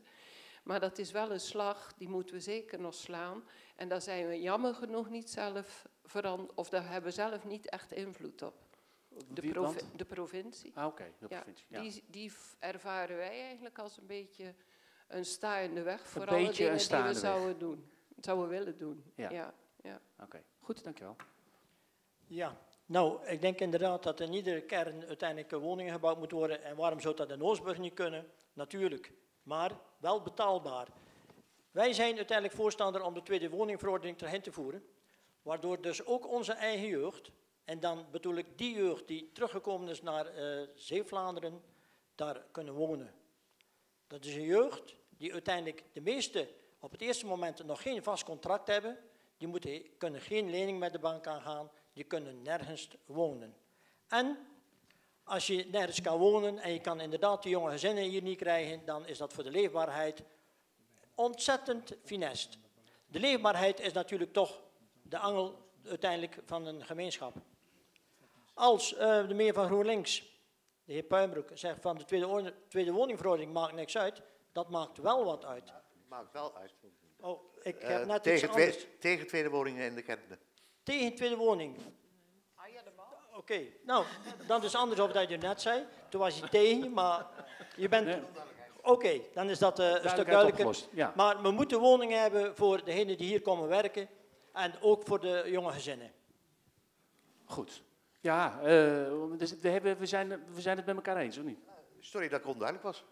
Ja, oké. Okay, uh, de leefbaarheid komt niet uh, ten goede. Ik woon in een straatje. Ik ben de enige die aan mijn kant permanente bewoning heeft. Uh, in de winter zie je precies welk stoepje wel geveegd wordt en welk niet. Het merendeel van groene niet. en het verhoogt ook niet de leefbaarheid. Als mensen hun tweede huisjes ook nog verhuren, tot midden in de nacht wordt er bier gedronken met mooi weer. Bedoel, dat is prima in die recreatieparken maar niet in de dorpen. Ze leveren niks toe aan scholen. De, ja, de, nee, dus. Nee. Daar bent u het ook mee eens? Nee. Nee. Ja, je zegt Wilt bier drinken. Ja, ja, ik wil nog wat meer weten, ja. Ja, wij vinden dat je als uh, woningbezitter zelf moet kunnen beschikken over wat er met je woning gebeurt. Uh, er zijn een heleboel oudere mensen in onze gemeente die eigenlijk hun eigen huis hebben als appeltje voor de dorst. En het zal je maar gebeuren dat je denkt, ik verkoop mijn huis en met hetgeen wat het opbrengt kan ik zorgen dat ik ergens een onderkomen krijg. En weet ik wat, doet er niet toe. Een tiny house. Een aanleenwoning of zo. Even stoppen, we krijgen een joker. Mag die dan zo? Ja, die mag er zo tussendoor. En hoe ga je het handhaven? Maar hou vast, we komen terug. Oh, ja. Ja. Nee, maar ik, ik, wil daar wel, uh, ik wil daar wel even op reageren, want ik vind het wel een hele mooie discussie als het gaat over de tweede woningverordening. Want ik wil daar ook maar gewoon duidelijk in zijn. De VVD is tegen de invoering van de tweede woningverordening. Uh, je kijkt maar naar retrangement. Als je dat uh, als voorbeeld pakt, dan loopt het hartstikke goed. Dan zijn de mensen super tevreden. En als we de tweede woningverordening gaan invoeren, En dan denk ik echt dat we ook weer uh, teruggaan naar spookdorpen. Dat moeten we niet willen. We moeten gewoon zorgen dat we bij de provincie aankloppen. Het gaat om het woningcontingent. We moeten ervoor zorgen dat we meer woningen eh, kunnen toevoegen in ons gebied hier. We moeten ervoor zorgen dat we huurwoningen, starterswoningen, sociale woningen en dat we gewoon een goed verhaal hebben bij de provincie om daar aan te kloppen en daar te lobbyen en continu het geluid te laten horen dat we dat nodig hebben. Maar dan moeten we dat ook kunnen aantonen dat die behoefte er daadwerkelijk ook is. En dan ben ik van mening, als je dat geluid laat horen, kom je verder. Maar niet om een tweede woningverordening in te voeren, om, om dan zeg maar de mensen op te leggen wat zij met hun woning wel of niet mogen doen. Dat lijkt mij niet gepast. Althans, niet wat de VVD betreft. Goed. Ja, wilt u nog... Uh... Oh, nou, reageren. Ah, ik heb ook nog spreektijd, want dat is nog niet... Ge... Chris had het woord nog. Ja. Nou, uh, meneer Werkman, uh, u zegt van de tweede woningverordening moet niet terugkomen. Wij vinden wel, er zijn woningen genoeg maar dat is toch geen oplossing? Er zijn genoeg woningen in de vakantieparken waar ze kunnen wonen. En u zegt het komt niet de leefbaarheid te goed, het komt wel de leefbaarheid te goed. En u zegt een retragement, maar er kan op dit moment niemand van de jeugd een retragement een woning kopen. En waarom niet? Omdat de prijzen torenhoog zijn. Die komen er glad niet aan toe. Ik wil graag van de heer Scheppers weten hoe hij dat gaat handhaven. Een ambtenaar op de stoep zetten en turven? Dat hoeft helemaal niet te handhaven, meneer Babijn als op een gegeven moment een woning verkocht wordt, dan zullen de gegevens toch naar de gemeente komen. Is en dan niet kan je, En dan kan je zien of wat die inwoner is, is van de gemeente Sluis, of wat die... Helder. Ik, uh, had je een onderbrak Nou, ik vind het jammer dat de partijen zich niet hard maken om het feit dat we met z'n allen ten strijde gaan naar de provincie om voor dat woningcontingent ook daadwerkelijk daarvoor te strijden. Want dat is de oplossing en niet in de oplossing in de invoering van de tweede woningverordening. Uh, als dat de oplossing is, waarom heeft de coalitie de afgelopen vier jaar dan niet gedaan? En waarom zou het niet NN kunnen zijn? Waarom zou het niet N1 kunnen zijn? Dat was wat u zei. Ja, nou, ik, wij vinden gewoon dus, dat je uh, mensen vrij moet laten in het feit wat ze wel en niet met hun woning doen. En je moet dat dus niet opleggen. Nee. Nou, ja, goed, dan verschillen we daar een mening van. Ja. toch, leefbaarheid is een belangrijk item. Uh, bedoel, natuurlijk, uh, ja, leven in een ja, neoliberale samenleving. Geld is belangrijk, maar leefbaarheid ook. En, in die leefbaarheid is zeker belangrijk, maar dat doe je met z'n allen. Uh, alleen merendeel van de tijd staat die huisjes naast me leeg. Dus met z'n allen, uh, bedoel, en als steeds wisselende mensen daarop komen, je bouwt er niks meer op. Nee. Bedoel, dus uh, in die zin, nou, heeft veel nadelen.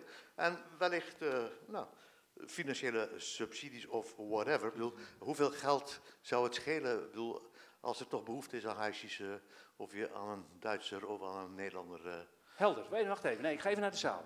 Um, daar achter, hier zit een meneer die wil graag reageren. Achterin ook. Ja, kom zo bij je. Ja. Ik heb een uh, vraag en die is aan u. Aan u? Wie is u? Nee, aan u. Aan mij? Ja. Uh, uh, zomaar voor de duidelijkheid, misschien ben ik de enige, maar ik heb het idee toch niet helemaal.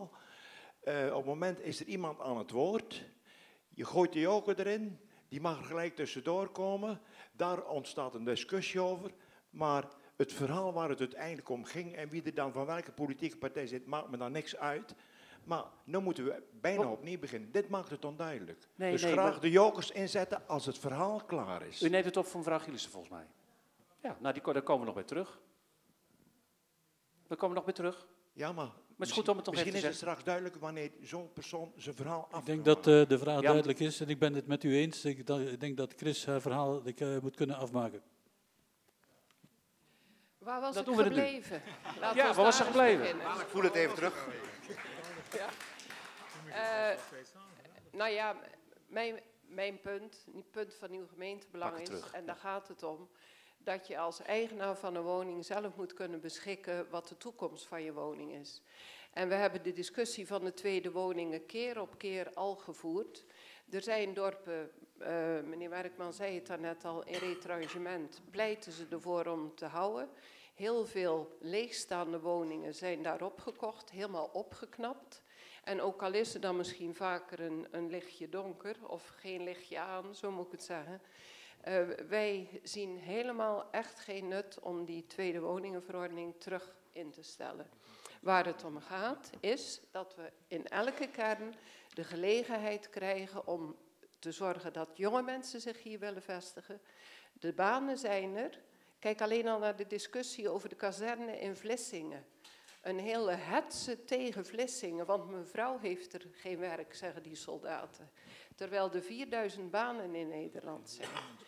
Het beeld is, is een beetje krom en laat ons alsjeblieft zelf beslissen in onze gemeente. En hoe heeft dat kromme beeld te maken met de hier?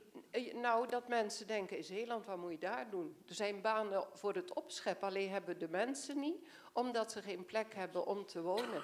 En als ze al ergens een plekje zouden kunnen bemachtigen om iets te bouwen, moeten ze eerst een oud krot afbreken.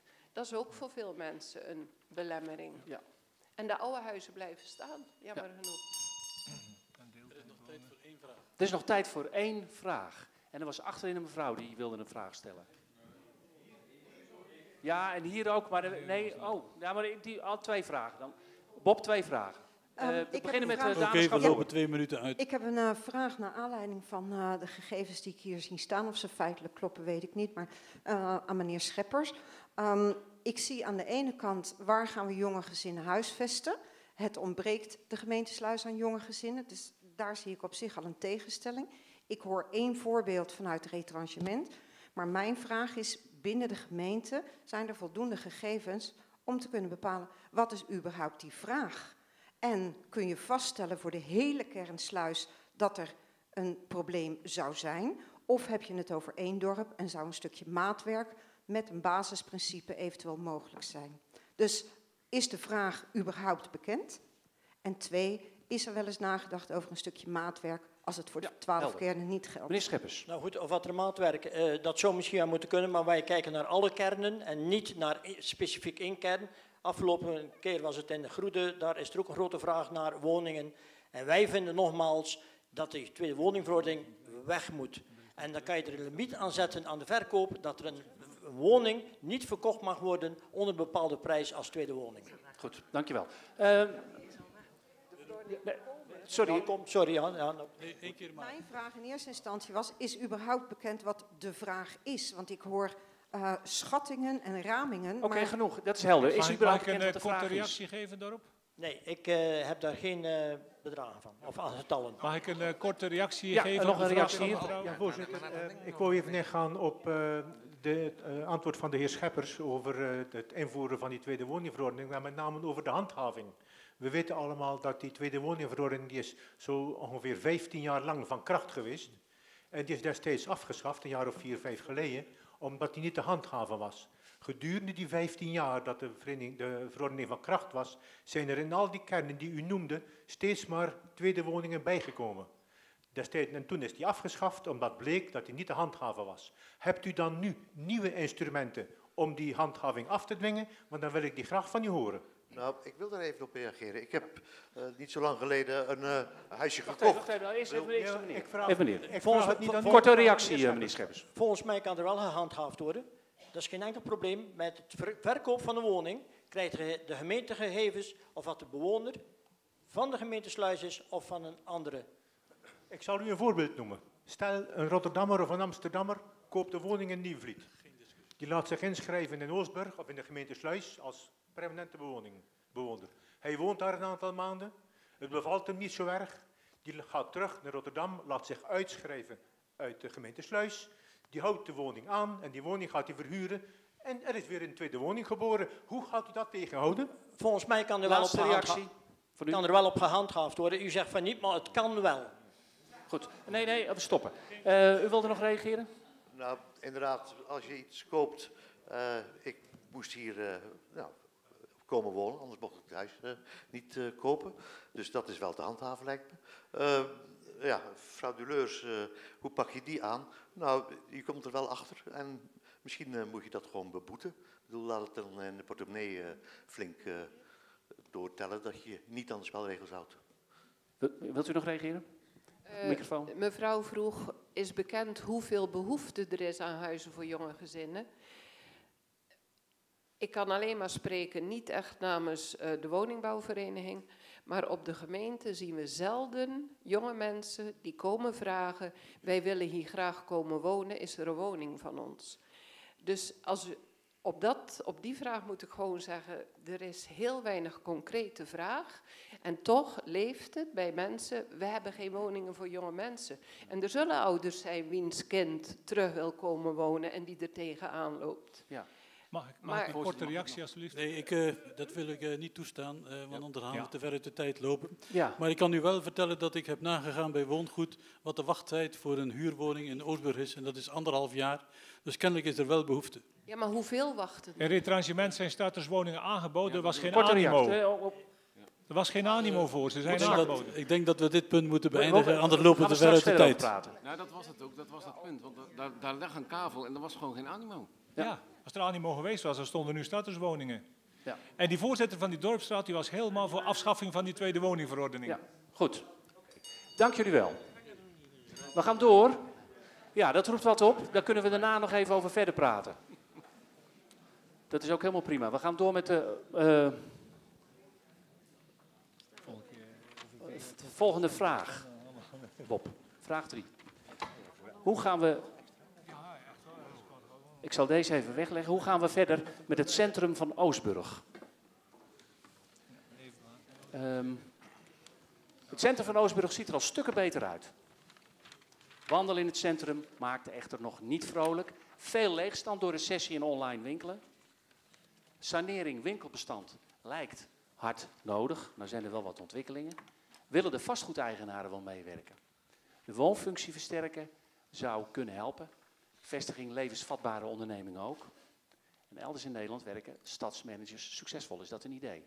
De vraag is, en daar wil ik graag even reacties op hebben, hoe moet de gemeente nu verdere sanering van Oostburg aanpakken? Dan wou ik maar weer beginnen met meneer Werkman.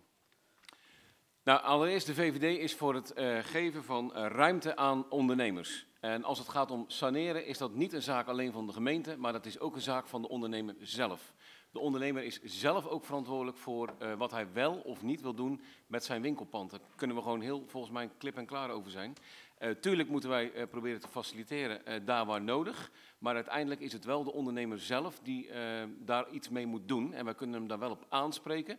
Maar we kunnen daar ook wel een sanctie op leggen. Maar uiteindelijk moet die ondernemer wel in de benen komen om ook daadwerkelijk zeg maar, het pand wat verpauperd is, om dat ook zeg maar, daadwerkelijk op te knappen. En dat zien we ook hier in Oostburg. Er staan hier een aantal panden leeg. Er staan ook een aantal panden leeg waar echt wel, wat mij betreft, winkels in kunnen. Maar dat is, heeft ook te maken met de marktwerking in de zin van dat een ondernemer vrij is om te bepalen wat hij wil qua huur voor een winkelpand. Maar ik weet ook mensen die graag zouden willen, maar ja, die niet altijd die hele hoge huren kunnen betalen.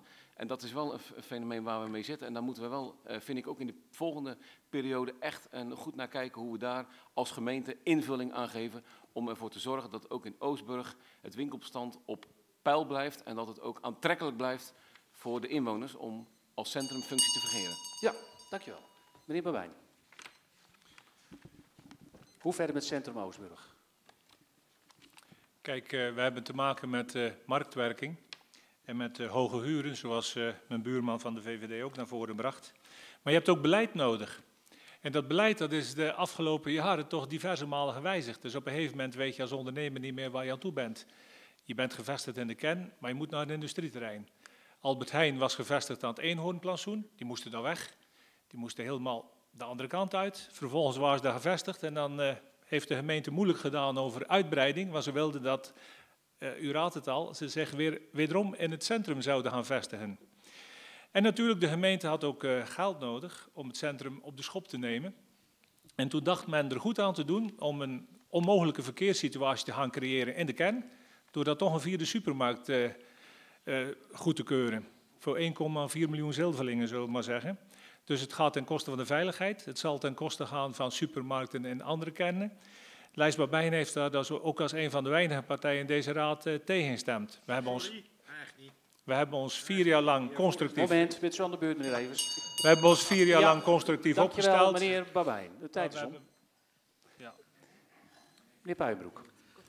Ja, uh, ondernemers, uh, het is al gezegd. Ik bedoel, het is, het is uh, ja, een, ook weer een feit dat die krimpgebieden, de sanering, de grote ketens, ja, nemen de kleintjes over. Wat je daaraan kan doen, ik denk als gemeente een visie voor de toekomst. Uh, omdat je als je een visie hebt van, goh, hier zien we kansen, die kant gaan we met z'n allen op. Als je visie hebt, kun je ook kansen herkennen. Als je weet wat je wil, dan zie je ook dat het een kans is. ja, dat betekent dus toch lange termijn visie en dat is ook beleid.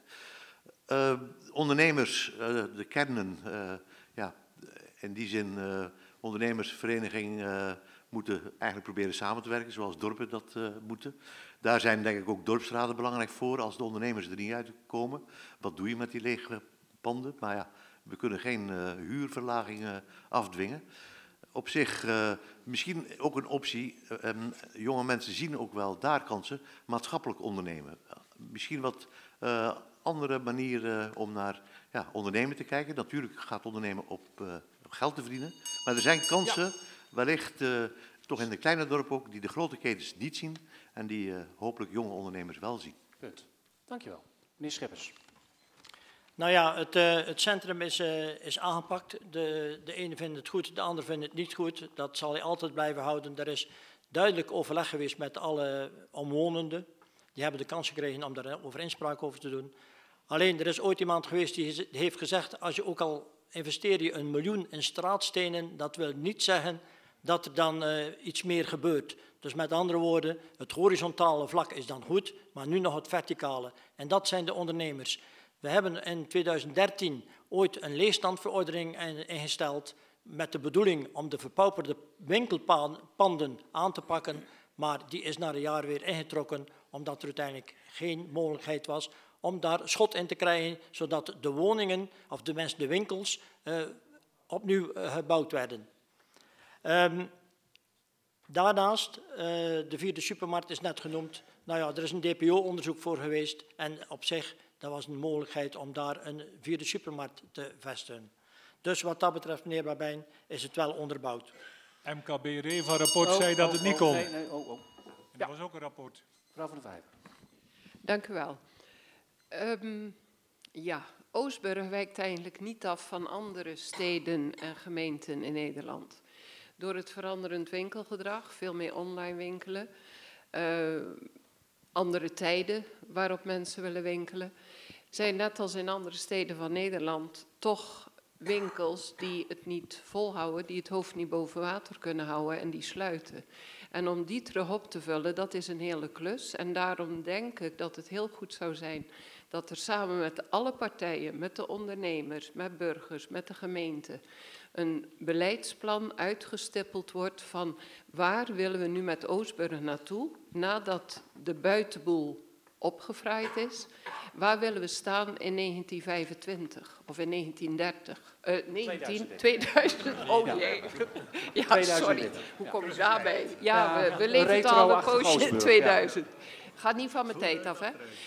Um, dus wat dat betreft, eh, de gemeente krijgt vaak uh, de, de, de opdracht van je moet zorgen dat de winkels komen.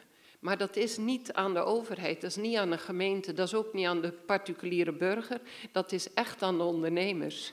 En die zien het best wel zitten. Er worden ook uh, panden verhuurd tegen een lagere huur dan vroeger het geval was. Maar het moet nog beter. En we kunnen niet zomaar wachten tot het beter gaat. Samen proberen om te kijken welke kant we op willen met Oostburg. Ja. Dankjewel. Meneer Evers. Ja, aantrekkelijke centra uh, uh, zijn belangrijk voor de leefbaarheid. Dus dat geldt uh, natuurlijk zeker ook voor Oostburg.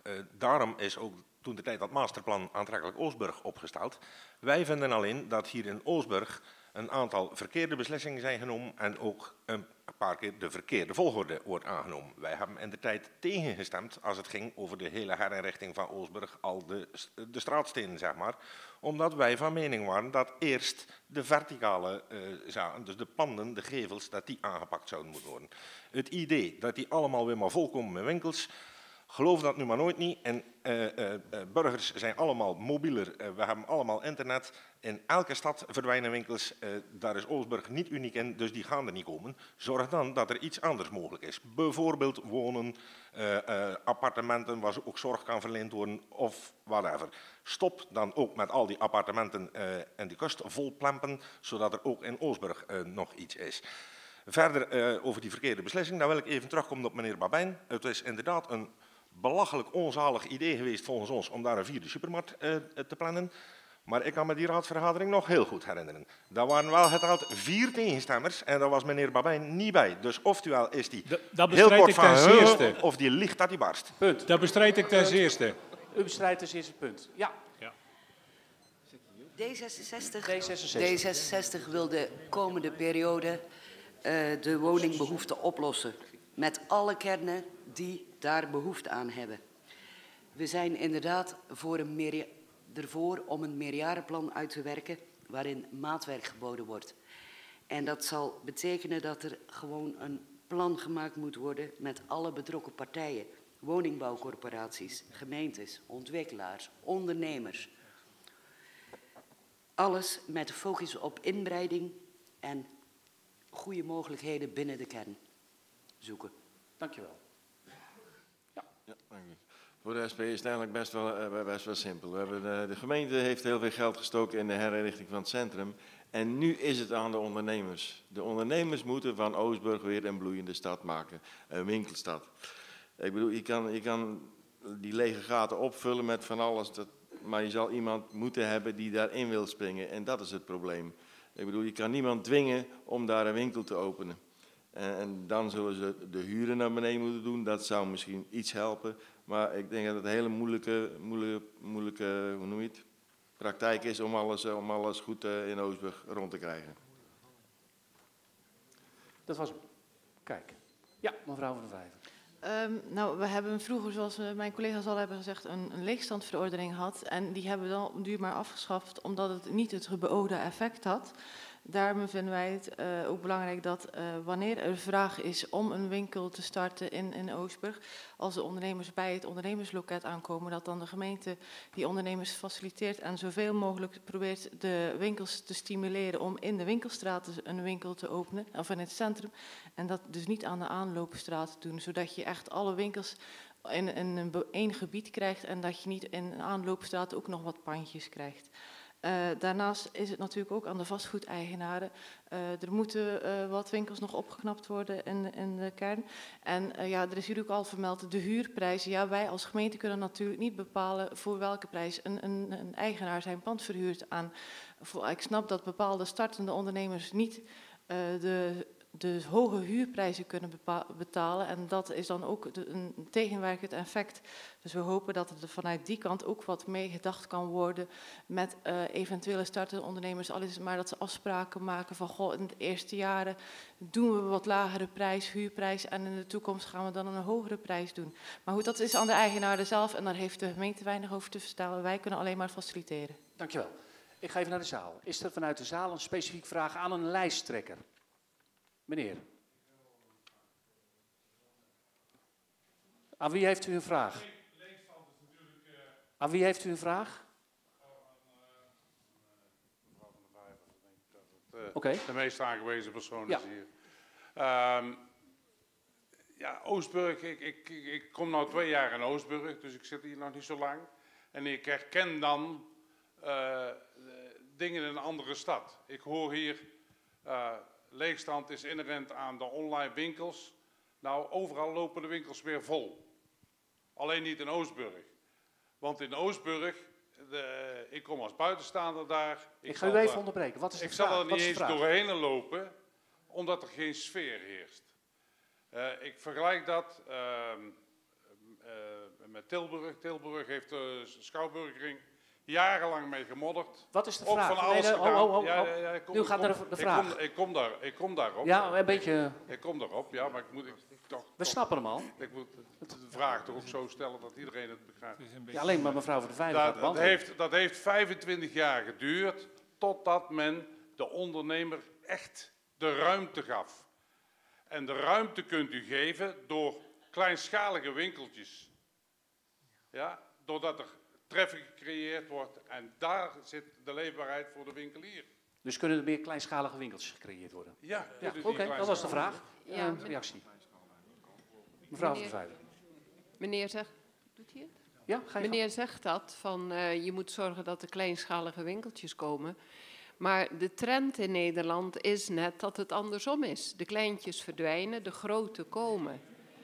Maar Mag ik verder gaan? Even, mag even uitpraten, hè? En uh, waar het voor u, volgens u om gaat, is dat er geen sfeer is. Ik wil eigenlijk een vraag terugstellen. Hoe creëert u sfeer? Bijvoorbeeld hier in Oostburg. In Oostburg zou je uh, bijvoorbeeld, uh, ik zei al, ik, ja, meneer heeft een grote Ik neem de vergelijking even met Tilburg, omdat ik dat ken. Dat is uh, 30 jaar een puinhoop geweest en dat duurde allemaal lang. Totdat men naast de panden die allemaal veel te duur waren, kleine rijen gemaakt heeft en neergezet heeft, waar kleine ondernemers kunnen beginnen. Want daardoor krijg je treffelijk, daar zijn er grote ook bij gebaat. Ik snap wat u zegt. Als er bij ons een ondernemer komt die zo'n plan heeft, dan weet ik zeker dat daar medewerking aan gegeven wordt. Maar de ondernemer moet het doen. En de gemeente kan zorgen. Ik van vorige zomer zag het er al een stuk gezelliger uit op de markt, met de terrasjes overal. De gemeente kan zorgen dat de buitenboel netjes op orde is en aangenaam gemaakt wordt. Maar de ondernemer zal toch echt moeten ondernemen. En dat kan de gemeente niet doen. Ondernemer zal moeten ondernemen, kan de gemeente niet doen. Dank u wel. We gaan door naar de derde stelling. En die luidt, het gaat over de leefbaarheid in Oostburg. Het dorpshuis De Hoekzak in Oostburg werd gesloopt. De vierde supermarkt was immers brood nodig. In het nieuwe MFC was een gemeenschapsdeel voorzien. Zie ook de Cor in Breskes en de Keur in Sluis. Door dat te schrappen bespaarde de gemeente ruim 5 ton om elders leuke dingen te doen. In Oostburg bijeenkomen bij de horeca was het advies. Dat kon natuurlijk niet in Breskes en Sluis. Wat zegt het visiedocument krachtig verbonden? In elke kern een dorpshuis. Dus ook in Oostburg. Ook in het coalitieakkoord speerpunt 3. Toch mooi niet. Oostburg, kern met Pitty, moet zich maar behelpen. Alle kennen in gemeente Sluis zijn wel gelijk. Of zijn sommigen toch gelijker dan anderen? Kiezers kunnen erover een mening hebben en dat merken we dan op 21 maart. Nou, dat is even een geladen tekstje. Dat leidt tot de stelling, zoals ik hoop dat die bij jullie ook klopt. Zoals elke kern heeft ook Oostburg recht op een dorpshuis. Zoals elke kern heeft ook Oostburg recht op een dorpshuis. Ik zie een nee bij de VVD, een ja bij meneer Babijn, ja bij nee, meneer Puinbroek. Ik heb hem. oh, neutraal, neem niet kwalijk. Neutraal. Neutraal. Meneer Puinbroek ja, meneer Scheppers nee, nu gemeentebelang, mevrouw van der Vijver nee, PvdA nee, D66 ja, SP ja en CDA ook ja. Dat is mooi verdeeld. Um, ik zou willen uitnodigen om hier wat verder over te praten, de VVD, PvdA en lijst Babijn. Dan geef ik even de microfoons. Kijk. Jack? Ja. François. Alsjeblieft. Goed. Mm. Kijk. Uh, nou mannen, ga erbij zitten. Uh, zoals elke kern heeft ook Oostburg recht op een dorpshuis. Om mee te beginnen aan jou te worden, een nee. Ja, ik had uh, nee gezegd. Het gaat ook over een stuk leefbaarheid. Leefbaarheid begint ook bij jezelf. Um, als ik zelf naar mezelf kijk, ik woon in Waterland Kerkje in het buitengebied, maar ik voel echt wel de verbondenheid met, met het dorp, zeg maar, en de leefbaarheid daar en ook alles wat daarmee samenhangt. als je kijkt, de stelling die we net hebben gehad van nee, geen dorpshuis, maar dat komt ook uit het feit en uh, dat is denk ik ook wat we vanavond hier doen, het eerlijk brengen. Uh, we hebben de masterplan uh, gehad qua voorzieningen. En daar is heel veel naar voren gekomen. En daar is ook het dorpshuis een onderdeel van geweest. Dat is voor mijn tijd. ik denk dat de heren die hier zitten dat nog veel beter weten. Maar er is wel uit voren gekomen dat we uiteindelijk besloten hebben als raad om niet te gaan voor een dorpshuisfunctie in Oostburg. Omdat in Oostburg gewoon andere faciliteiten zijn. Zoals we nu hier zitten op het Swin College het Ledeltheater, we hebben Jota, uh, we hebben uh, sportcomplex De Eenhoorn, waarmee je gebruik kan maken van uh, de faciliteit als het gaat om de ruimtes. Daarnaast stellen wij subsidie beschikbaar voor de dorpsraad. En ook daarvan kunnen zij zeg maar, ruimtes huren. Ehm, wat we misschien wel zouden kunnen doen, als dat bijvoorbeeld blijkt omdat ik begrijp dat het een issue is, als dat niet uitkomt omdat men bijvoorbeeld vaker wil uh, vergaderen. Maar dan zouden we moeten kijken, wat voor activiteiten zijn dat dan, om te kijken van of we iets met die subsidie kunnen. Als, men, als het dorpshuis zegt, van, of de dorpsraad, we hebben vaker een ruimte nodig en we komen financieel niet uit. Maar dan zou je wel moeten kijken, wat zijn die activiteiten dan? Ja. Dus daar moet je dan serieus naar kijken. Goed, dank je. Uh, meneer Babijn, u was uh, neutraal. Ja, mijn collega Werkman die was uh, helder. Die heeft het heel goed omschreven. En neutraal in de zin van echt een dorpshuis bouwen, dat willen we niet. Maar een dorpshuisfunctie wel, daar zijn we voor. Ja. Dus als we het ergens kunnen integreren En we moeten natuurlijk wel kijken, we werken met beperkte middelen in onze mooie gemeente. Kijk, ik woon in Oosburg, ik draag de kern Oosburg net als alle andere kernen een warm hart toe. Maar we hebben ook de verantwoordelijkheid naar u, de burger, om met het geld om te gaan. En we hebben eh, te kampen met een eh, behoorlijke schuldenlast. En we moeten de middelen die ons resteren efficiënt inzetten. Dan zeg ik ja, dorpsfunctie ja, maar integreer het ergens. Kijk naar de mogelijkheden. En dan kunnen we eventueel via de stadsraad, via enquête, via inspraak kijken van hoe ziet u dat? En dan kunnen wij eventueel faciliteren. Daar ziet u dan wel mogelijkheden toe om dat te kunnen faciliteren, los van dat het financieel... Ja, zoals uh, mijn collega ja. aangegeven heeft, uh, er zijn diverse mogelijkheden, maar laten we ons dan gezamenlijk tot een uh, oplossing komen waar we allemaal achter kunnen staan. Ja, goed. Dank u. Dank u. Rudy, Evers. Ja, ik heb ook nee gezegd. Overigens werd ik eerst even getriggerd door een andere uh, zin hier in die stelling, die u nogal prikkelend uh, uh, vond. En ik eigenlijk ook wel, dat alle kernen in de gemeente Sluis gelijk zijn, maar sommige iets meer gelijk naar anderen. Dat is ongeveer wat we in bijna elke kern horen. Waarom gaat alles naar Oosburg en niet naar ons? Um, dan terug... Het bij, de, bij het Antgras zat groener dan de andere... Ja. Dan terug um, naar die dorpshuis. Uh, waarom heb ik daar nee op gezegd? Uh, natuurlijk moet er ergens iets zijn waar mensen kunnen vergaderen, kunnen ontmoeten, waar ouderen de kaartclub in kan en noem maar op. Maar als wij nu naar Oostburg kijken, dan zijn er hier heel veel voorzieningen, ook heel veel gemeentelijke gebouwen. We hebben het Ledeltheater, we hebben de Windmaker, we hebben het Sven College, we hebben het gemeentehuis, we hebben het sporthal. En al die gebouwen is het zeker mogelijk om daar gebruik van te maken. Dus om er dan nog eens iets bij te bouwen, lijkt ons een, een beetje onzinnig. En dan stoppen wij dat geld liever in extra steun aan het Ledeltheater, om daar een, een goede programmering te behouden. En in elk geval voor de toekomst te borgen dat het Ledeltheater als belangrijk, belangrijke voorziening voor de hele gemeente Sluisvoer blijft behouden. Goed, dankjewel. Wil ik me graag bij uh, aansluiten. Meneer uh, Babijn, een, een, joker. Die mag uh, even... Ja, uh, toen ik meneer Evers hoorde zeggen van uh, ik zou liever het Ledeltheater ondersteunen. Kijk, in de tijd dat werd besloten op welke manier gaan we die nieuwe school inrichten, is er ergens in Nederland een heel verdrietig iets gebeurd waarin een indringer in een school is gekomen en een kindje heeft omgebracht. Dat was de periode waarin hier gesproken werd met de scholen, met de kinderopvang over een nieuw gebouw. En toen is eigenlijk door de scholen en door de opvang gezegd, wat er ook komt, wij willen hier geen bibliotheek in, we willen hier ook geen dorpshuis in, dat iedereen hier binnen en buiten kan lopen. En dat was een van de redenen om de pijlen anders te richten.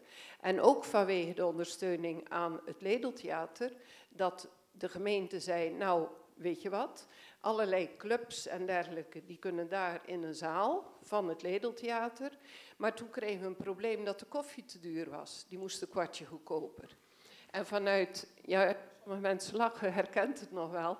En vanuit dat idee denk ik, we zouden heel graag de Soos of, of weet ik wat, of de Breiklub of de Punnenclub of iets in het Ledeltheater hebben. En als dan het drankje het probleem is, laat die mensen dan bij de gemeente komen en laat ons kijken of we op die manier iets kunnen betekenen. Maar wat zegt u nu eigenlijk? Wat wilt u nu eigenlijk? Ik wil dat we, daar heb ik gezegd, geen apart... Ik geef u gelijk, meneer Evers, voor een keer. Ja, daar ben ik niet gewend van uw gemeente. Nee, maar goed, eh, dat bloeit niet. Het is daarom dat Dat gebeurt ook wel eens. Het leven zit vol verrassingen. Dat was hem. Ja, ik, ik wou aanvullen dat het allemaal een reden heeft waarom het is gegaan ja. zoals het hier is gegaan.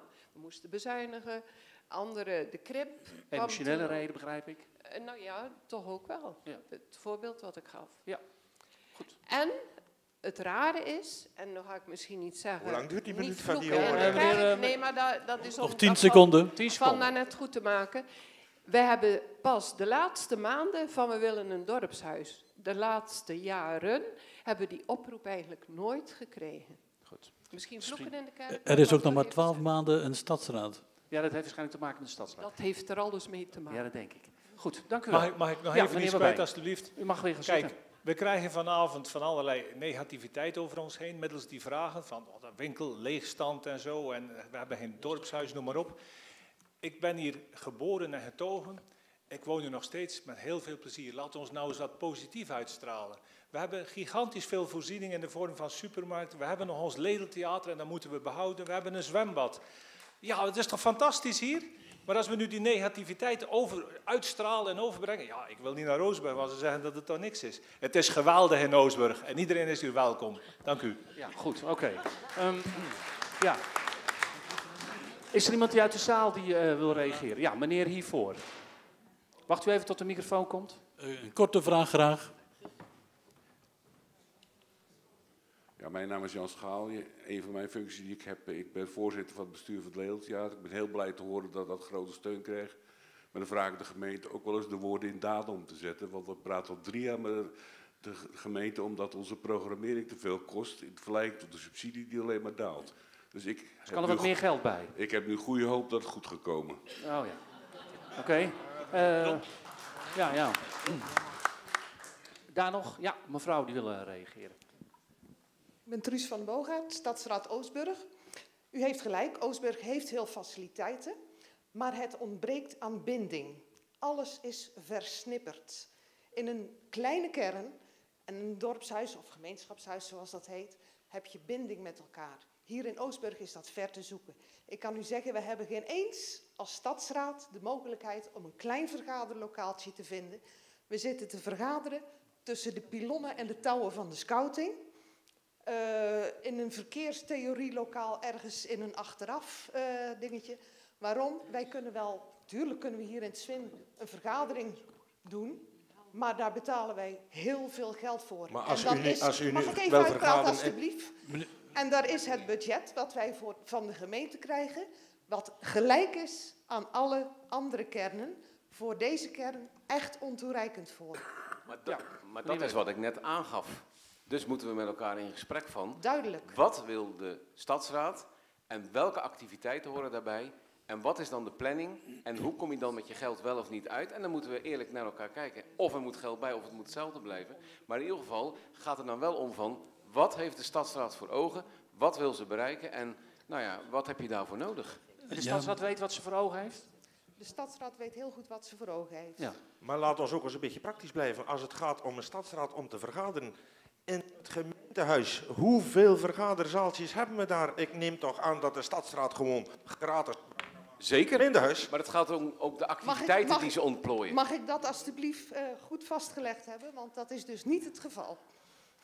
Ja, dat moet dan veranderen. Ja, ben ik nou, dan... En ik zie een schone taak weggelegd voor onze nieuwe stadsraad om die binding te bewerkstelligen. Samen kunnen we het, samen de schouders eronder. Maar als ik vraag, u maakt toch wel eens gebruik van onze oude kantine onder het gemeentehuis? Uh, dat doen wij uh, op zeer creatieve wijze, anders krijgen we geen toestemming. Dat is niet waar. Dat is niet waar hoor, dus ja, ik... Wacht even, meneer Maar daar gaan, daar gaan we dan met elkaar over in gesprek. We hebben het Absoluut. Het ziet dat eruit dat hier een dialoog gaat ontstaan, ja, die iets gaat opleveren. Dat was al de bedoeling voor dit gebeuren eigenlijk. Ja, ja, ik mag misschien hier aanvullen dat ik al een, lange, een week of tien probeer met uh, meneer Werkman en ook met uh, de wethouder van de Vijver ja, in kan... gesprek te komen.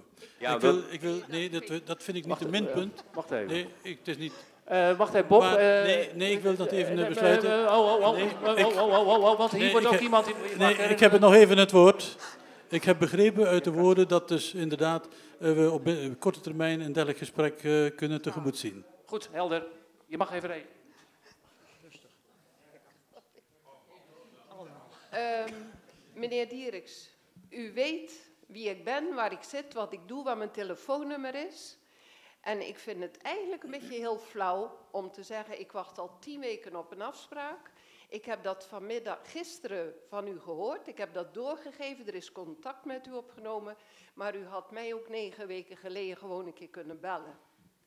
Ik ben nog niet op de hoogte van uw telefoonnummer. Nee, nou, reactie geweest. Dat, dat contact moet dus ook tot stand komen. Um, is er in de zaal nog een reactie naar aanleiding van dit? Ja, ga je gang. Een uh, vraag. Ik ben Timo Flikwit, examenleerling uh, op het uh, Swing College. En ik heb een vraag aan de heer Bijn. u heeft het over heeft een verband tussen het geldtekort en het goede leven hier. Maar ik vraag mij dan af, wat gaat u met uw partij eraan doen eh, dat wij kunnen stoppen met de bedeltochten naar het Rijk en de overheid op gebieden van gezondheidszorg en het onderwijs. Want als we nu kijken als burger zijnde naar de gezondheidszorg, zijn die problemen nog steeds aan het leven. Dus hoe gaat u zich daar sterk tegen maken? Hoe gaat u? Ja? De vraag werd aan mij gesteld.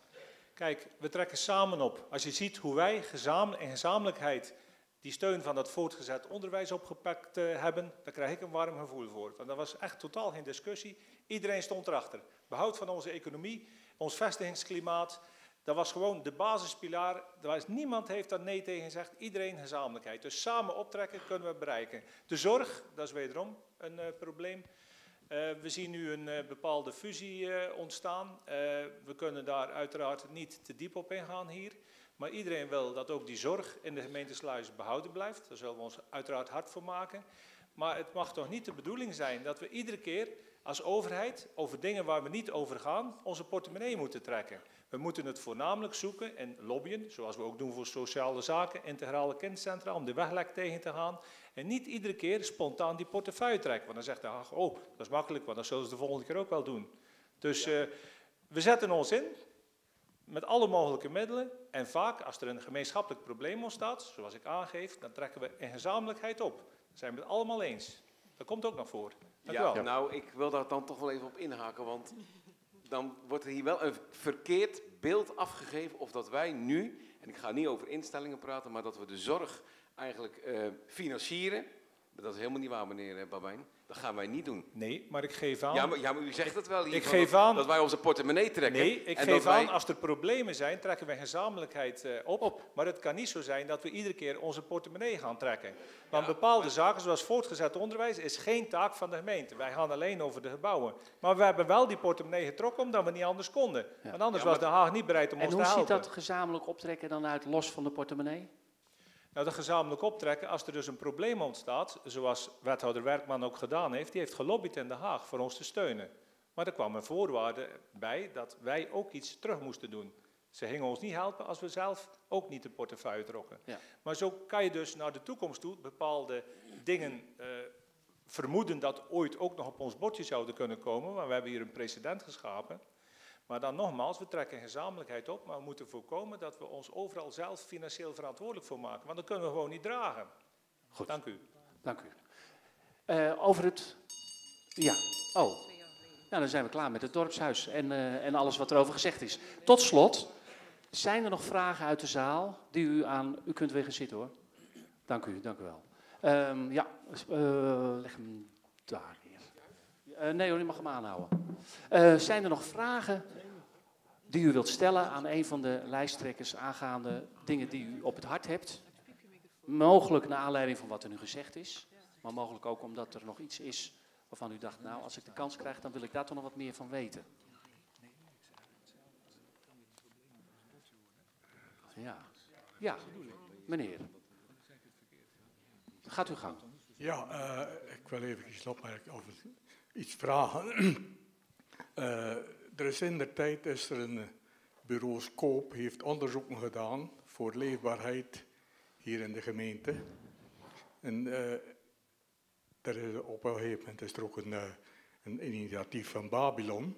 Ik heb daar heel weinig raadsleden of partijgenoten gezien. En er wordt ontzettend veel gepraat. Maar ik geloof dat nu toch wel eens tijd is om eens eventjes met daden te komen en niet alleen met woorden. Vooral in deze tijd van de verkiezingen. Dus loop nou eens eventjes alles na en kom eens met daden in plaats van met woorden. Dank je. Kom eens met... Ja, meneer Puinbroek. De Nieuw Babylon... De toekomstvisie uh, hebben we het over, hè? Ja, Nieuw Babylon uh, staat in ons verkiezingsprogramma. Uh, en hier ook al even aan de orde geweest. Laten we inderdaad kijken waar we over 50 jaar willen staan. Daar gaat Nieuw Babylon over. En nou, dat is aansprekend. Daarom hebben we het ook in ons verkiezingsprogramma opgenomen. Er is sprake van een blue zone, een uh, gebied waar een heel gezond leven is. En uh, ja, gekenmerkt door kwaliteit, bewuste mensen, hoge cultuuraanbod, cultuurbeleving. Uh, het zou een heel prachtige streek zijn om naartoe te komen. Daar is een visie, die omarmen we. En in die zin is dat waardevol. En laten we eh, ons best doen om dat waardevol is om te zetten en handelen. Helemaal mee eens. Dank u wel. U hebt het opgenomen in het verkiezingsprogramma. Nog andere reacties aanleiding van Nou, ik, kan, ik, kan, ik kan aangeven dat een eh, partijlid van ons eh, betrokken is geweest bij eh, ja, het opzetten van Nieuw Babylon en er ook in deelgenomen heeft. Dus we zitten er eigenlijk bovenop en daar komen interessante suggesties komen naar voren. Er werd ook nog even een uh, planbureau genoemd, ZB Planbureau, om een idee te geven eh, hoe ik daarover denk. Die kwamen met een, eh, een rapport, een leefbaarheidsrapport, en daarin stond dat de leefbaarheid van een kern totaal los stond van de aanwezigheid van een school. Dus ja, sindsdien heb ik geen hoge pet eh, op van dat ZB Planbureau. Dat is toen al ontstaan. En u ziet ook dat de Nederlandse overheid er ook anders over denkt. Want we hebben net geld gekregen, krimpgebieden, voor behoud van die scholen en die kleine kernen. Dus ja, ZB Planbureau, van mij mag het opgeheven worden, maar dat wou ik even kwijt. Dank Goed, u wel. Dan is dat ook weer eens gezegd. Ehm, nog 6,5 andere vragen? besparen. Vraag. Nou, over het algemeen zie ik het helemaal zitten de komende periode. Want Ja. ik zie dus eh, met stellingen vaak eh, gelijke, gelijke bordjes en zo. Soms heb ik een beetje het gevoel dat we er zijn om de wedstrijd niet te verliezen. In plaats van te spelen om hem te winnen. Ik heb één vraagje. Eh, En aan wie heeft u die vraag? Misschien wie er ook wil reageren. Dan mag u bepalen wie erop reageert. Maar we hebben vaak al gehad, er zijn allerlei visies. Welke visies, dat kon allemaal niet aan bod komen. Iedereen ziet heel veel kansen. Welke kansen? Maar het is al een paar keer gebeurd dat kort nadat er een coalitie is, er weer eens een lijk uit de kast komt. Financieel. Ik zal ze niet allemaal opnoemen van de afgelopen jaren, maar ik kan me er zo eentje bedenken. Bijvoorbeeld met die kotter op die vismijn. Met gesloten beurzen. Het ding heeft iets van 150.000 euro gekost. Is te zwaar. Er zit te veel asbest in. En kleinere, waarschijnlijk, dat lees ik dan in de krant, maar neem aan dat dat toch ook wel een beetje Uh, vanuit ik de raad onderbreek komt. het. Dus eh, uw vraag is eigenlijk, Zitten- komen, komen er nog lijken uit de Ja, kast vallen?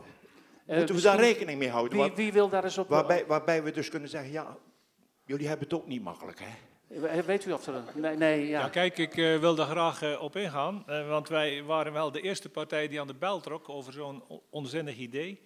Een, eh, een schuit van een half miljoen kilo op een dak leggen, eh, fundering. eh, de grootste kraan van Nederland om dat erop te zetten. dan veilig, dan natuurlijk ook asbest. Kijk, die aankoopprijs 150.000, daar heb ik ook eens over nagedacht en ook eens mensen op aangesproken. De schrootprijs die zat rond de 50, dus dat is een ton te veel betaald. Nu gaat hij met gesloten beurzen gaat hij omgeruild worden voor een kleinere kotter. Het woord asbest is al gevallen. Dus als je denkt dat je nog een schrootprijs gaat vangen van 50.000, ik denk het niet. Ik denk dat het geld gaat kosten om er vanaf te komen. En dan moet je weer de, de portemonnee trekken voor een, een nieuwe schuit. Kijk, wat betreft die schuit was ons standpunt helder. In Breskens moet er iets gebeuren. We zijn voor die plannen, want als je daar gewoon over die, eh, die dijk loopt en je ziet daar die troosteloze gebied, dan moet iets gebeuren. Daar zijn investeerders bereid om daarin te springen. Juichen wij toe. Maar die schuit verdient geen schoonheidsprijs. Maar nogmaals, ik zou nog veel meer kunnen zeggen, maar dan word ik geschorst, want dat is allemaal vertrouwelijk. Dus helaas. Dank u wel. Oké. Nog andere reacties? Ja, ja, ja. Eh, ja. Nou ja, ik wil er wel even op reageren of er nog een lijk uit de kast kan komen. Dat weet je nooit van tevoren natuurlijk. En dat is een, eh, een, een, vraag die je geen antwoord kan op geven, want dat zal pas blijken dat hij eruit is. De, eh, de kotter, ja meneer Babijn, eh, ik weet het, die was er altijd tegen. Alleen, er is op een gegeven moment een hoop subsidie gekomen in onze richting. Mede dankzij dat plan. Dus, die kotter, die zal toch iets moeten mee gebeuren. Goed. Meneer Pijbroek, ja. Komt zo. eh, We hebben vandaag een brief geschreven naar de, alle eh, collega's hier eh, om een toekomstig lijk eh, te identificeren. Eh, ook in eh, Breskens, haven. Eh, inderdaad, er is heel veel niet bekend. Wij zitten in, in de raad, dus we eh, zitten in dezelfde positie als de burgers. We dienen een zienswijze in. Die staat morgen op onze site. Daar eh, wordt door de gemeente eigenlijk eh, niets verdiend straks aan eh, dat hele nieuwe plan wat nu ter inzage ligt. 11 april sluiting van de laatste mogelijkheid om een zienswijze in te dienen. Eh, wij schatten ongeveer een omzet van 200 eh, miljoen, wat het waard is straks. We weten niet hoeveel het gekost is. We horen bedragen van 135 miljoen. En het is een plan wat niet mooi is. Ik bedoel, wat onze kust verkwanselt in onze ogen. En dat moet niet doorgaan wat ons betreft. Wel de zeezeilerscentrum gelijk beginnen. Bedrijvigheid eromheen, gelijk beginnen. Visserij Experience en Museum is heel slecht onderbouwd. Beter onderbouwen, met garanties voor exploitatie ook, voordat er iets gebouwd wordt. Ik wil ontbreken. Meneer Evers. Ja, ik wil er... Lijk in de kast. Ja, ik wil er ook wel even op reageren. Zeker als het daar gaat over die kotter. Kijk, die kotter, ik vond, vind ook wel dat het toen de tijd prematuur was om die te kopen. Maar goed, het was een collegebesluit en uitvoering van een raadsbesluit, wat misschien fout was. Maar goed, dat kan dus gebeuren als er besluiten worden genomen. Maar in principe is dat natuurlijk maar peanuts, die kotter. Dat gaat helemaal niet om zoveel geld. Nee, het grote probleem komt er nu aan. We gaan daar die hele haven in Breskens volgooien met 460 appartementen. Dat wordt daar om zeep geholpen voor de komende decennia. En dat gaat nog veel meer geld kosten. Ja, ik wil daar toch wel even op reageren. Meneer Werkman. Ik bestrijd dat gewoon eh, ten zeerste. het havengebied wordt herontwikkeld door ontwikkelaars die daar hun nek voor uitsteken. En als ik GroenLinks dan hoor zeggen van dat de gemeente daar nog aan moet verdienen. Ik denk dat wij straks een hele mooie ontwikkeling terugkrijgen in het gebied, in het havengebied eh, Breskens, waar heel de leefbaarheid ten goede aankomt. 460 appartementen, daar wordt vaak van gezegd dat is veel te veel, want dat kan vele malen minder. Nou, ik ben er van dichtbij betrokken.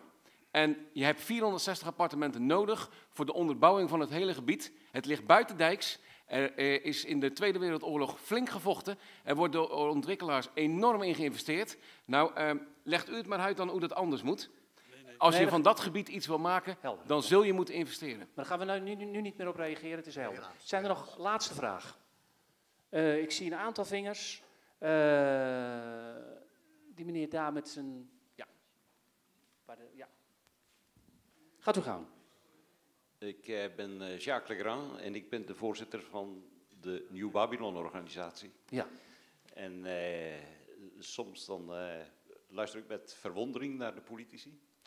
Ik luister ook naar wat ik steeds hoor van de volgende planperiode. Nieuw Babylon die kijkt niet naar de volgende planperiode, die kijkt over 50 jaar. Dat komt bijna nooit terug in de discussie. Ja.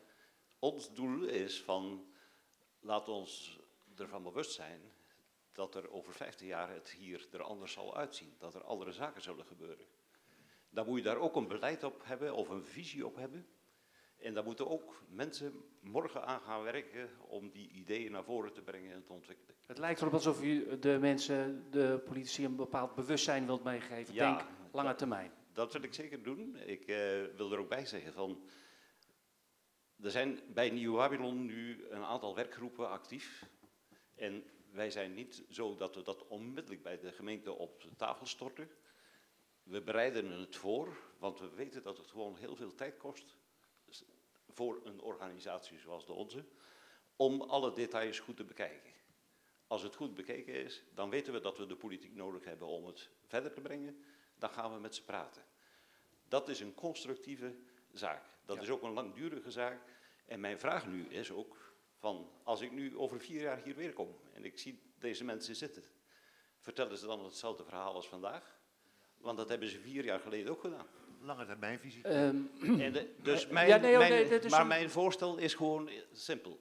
Als de politieke partijen in hun pamfletten en hun bewerking van de burgers zeggen van dit is voor de volgende vier jaar periode. En onze lange termijnvisie gaat over dit en dit en dit en dit. Ja. Dan maar bent u dat, zie- tevreden. dat zie ik nog niet. Nee. Ik, ik, ik moet zeggen, met uitzondering van twee partijen die daar wel een hit voor gegeven hebben. Ja, goed. Dan is dit gezegd. Ehm, en eh, dank u wel. En daarmee eh, komen wij ook aan het einde van de avond. Het loopt tegen tien. We hadden gezegd dat we ongeveer tien uur zouden doorgaan. We hebben over veel dingen gesproken. We hebben eh, gehoord dat er verschillen van mening zijn. Maar we hebben ook gehoord dat er constructief gedacht wil worden en dat er samengewerkt wil worden naar een nieuwe periode. Eh, ik sluit het af en geef het eh, woord aan eh, Bob terug. Maar ik zou toch willen zeggen, mag ik voor de dames en heren politici een hartelijk applaus voor het werk wat ze doen.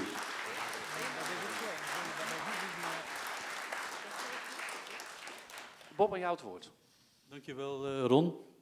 Ehm, het vragenkwartiertje is eh, wel iets anders gelopen dan ik had gedacht. Eh, ik moet zeggen dat de vertegenwoordigers van de politieke partijen daar heel handig gebruik van hebben gemaakt om nog wat eh, extra hun standpunten naar voren te brengen. Proficiat. Zo gaat dat in de politiek. Dan, maar ik wil hun wel bedanken voor hun aanwezigheid. En het applaus is al geweest, maar ik vind dat ze zich kranig hebben geweerd. En het was best af en toe lastig, denk ik. Dan wil ik ook Ron bedanken voor de leiding van deze avond. en ik wilde hem een klein presentje overhandigen. je kunt ongeveer raden wat erin zit. Alsjeblieft. Dan tot slot bedank ik natuurlijk alle aanwezigen voor hun, voor hun komst en voor hun inbreng. Ik moet zeggen ook dat, dat de vragen af en toe eh, best lastig waren voor de heren en dames vertegenwoordigers. En ik nodig jullie dan ook allemaal uit om nog een drankje te nemen daar bij de bar. En dan nog wat gezellig na te keuvelen. Eventueel kunnen er nog wat vragen zo tussen neus en lippen gesteld worden. En na afloop daarvan dan wens ik jullie allemaal wel thuis.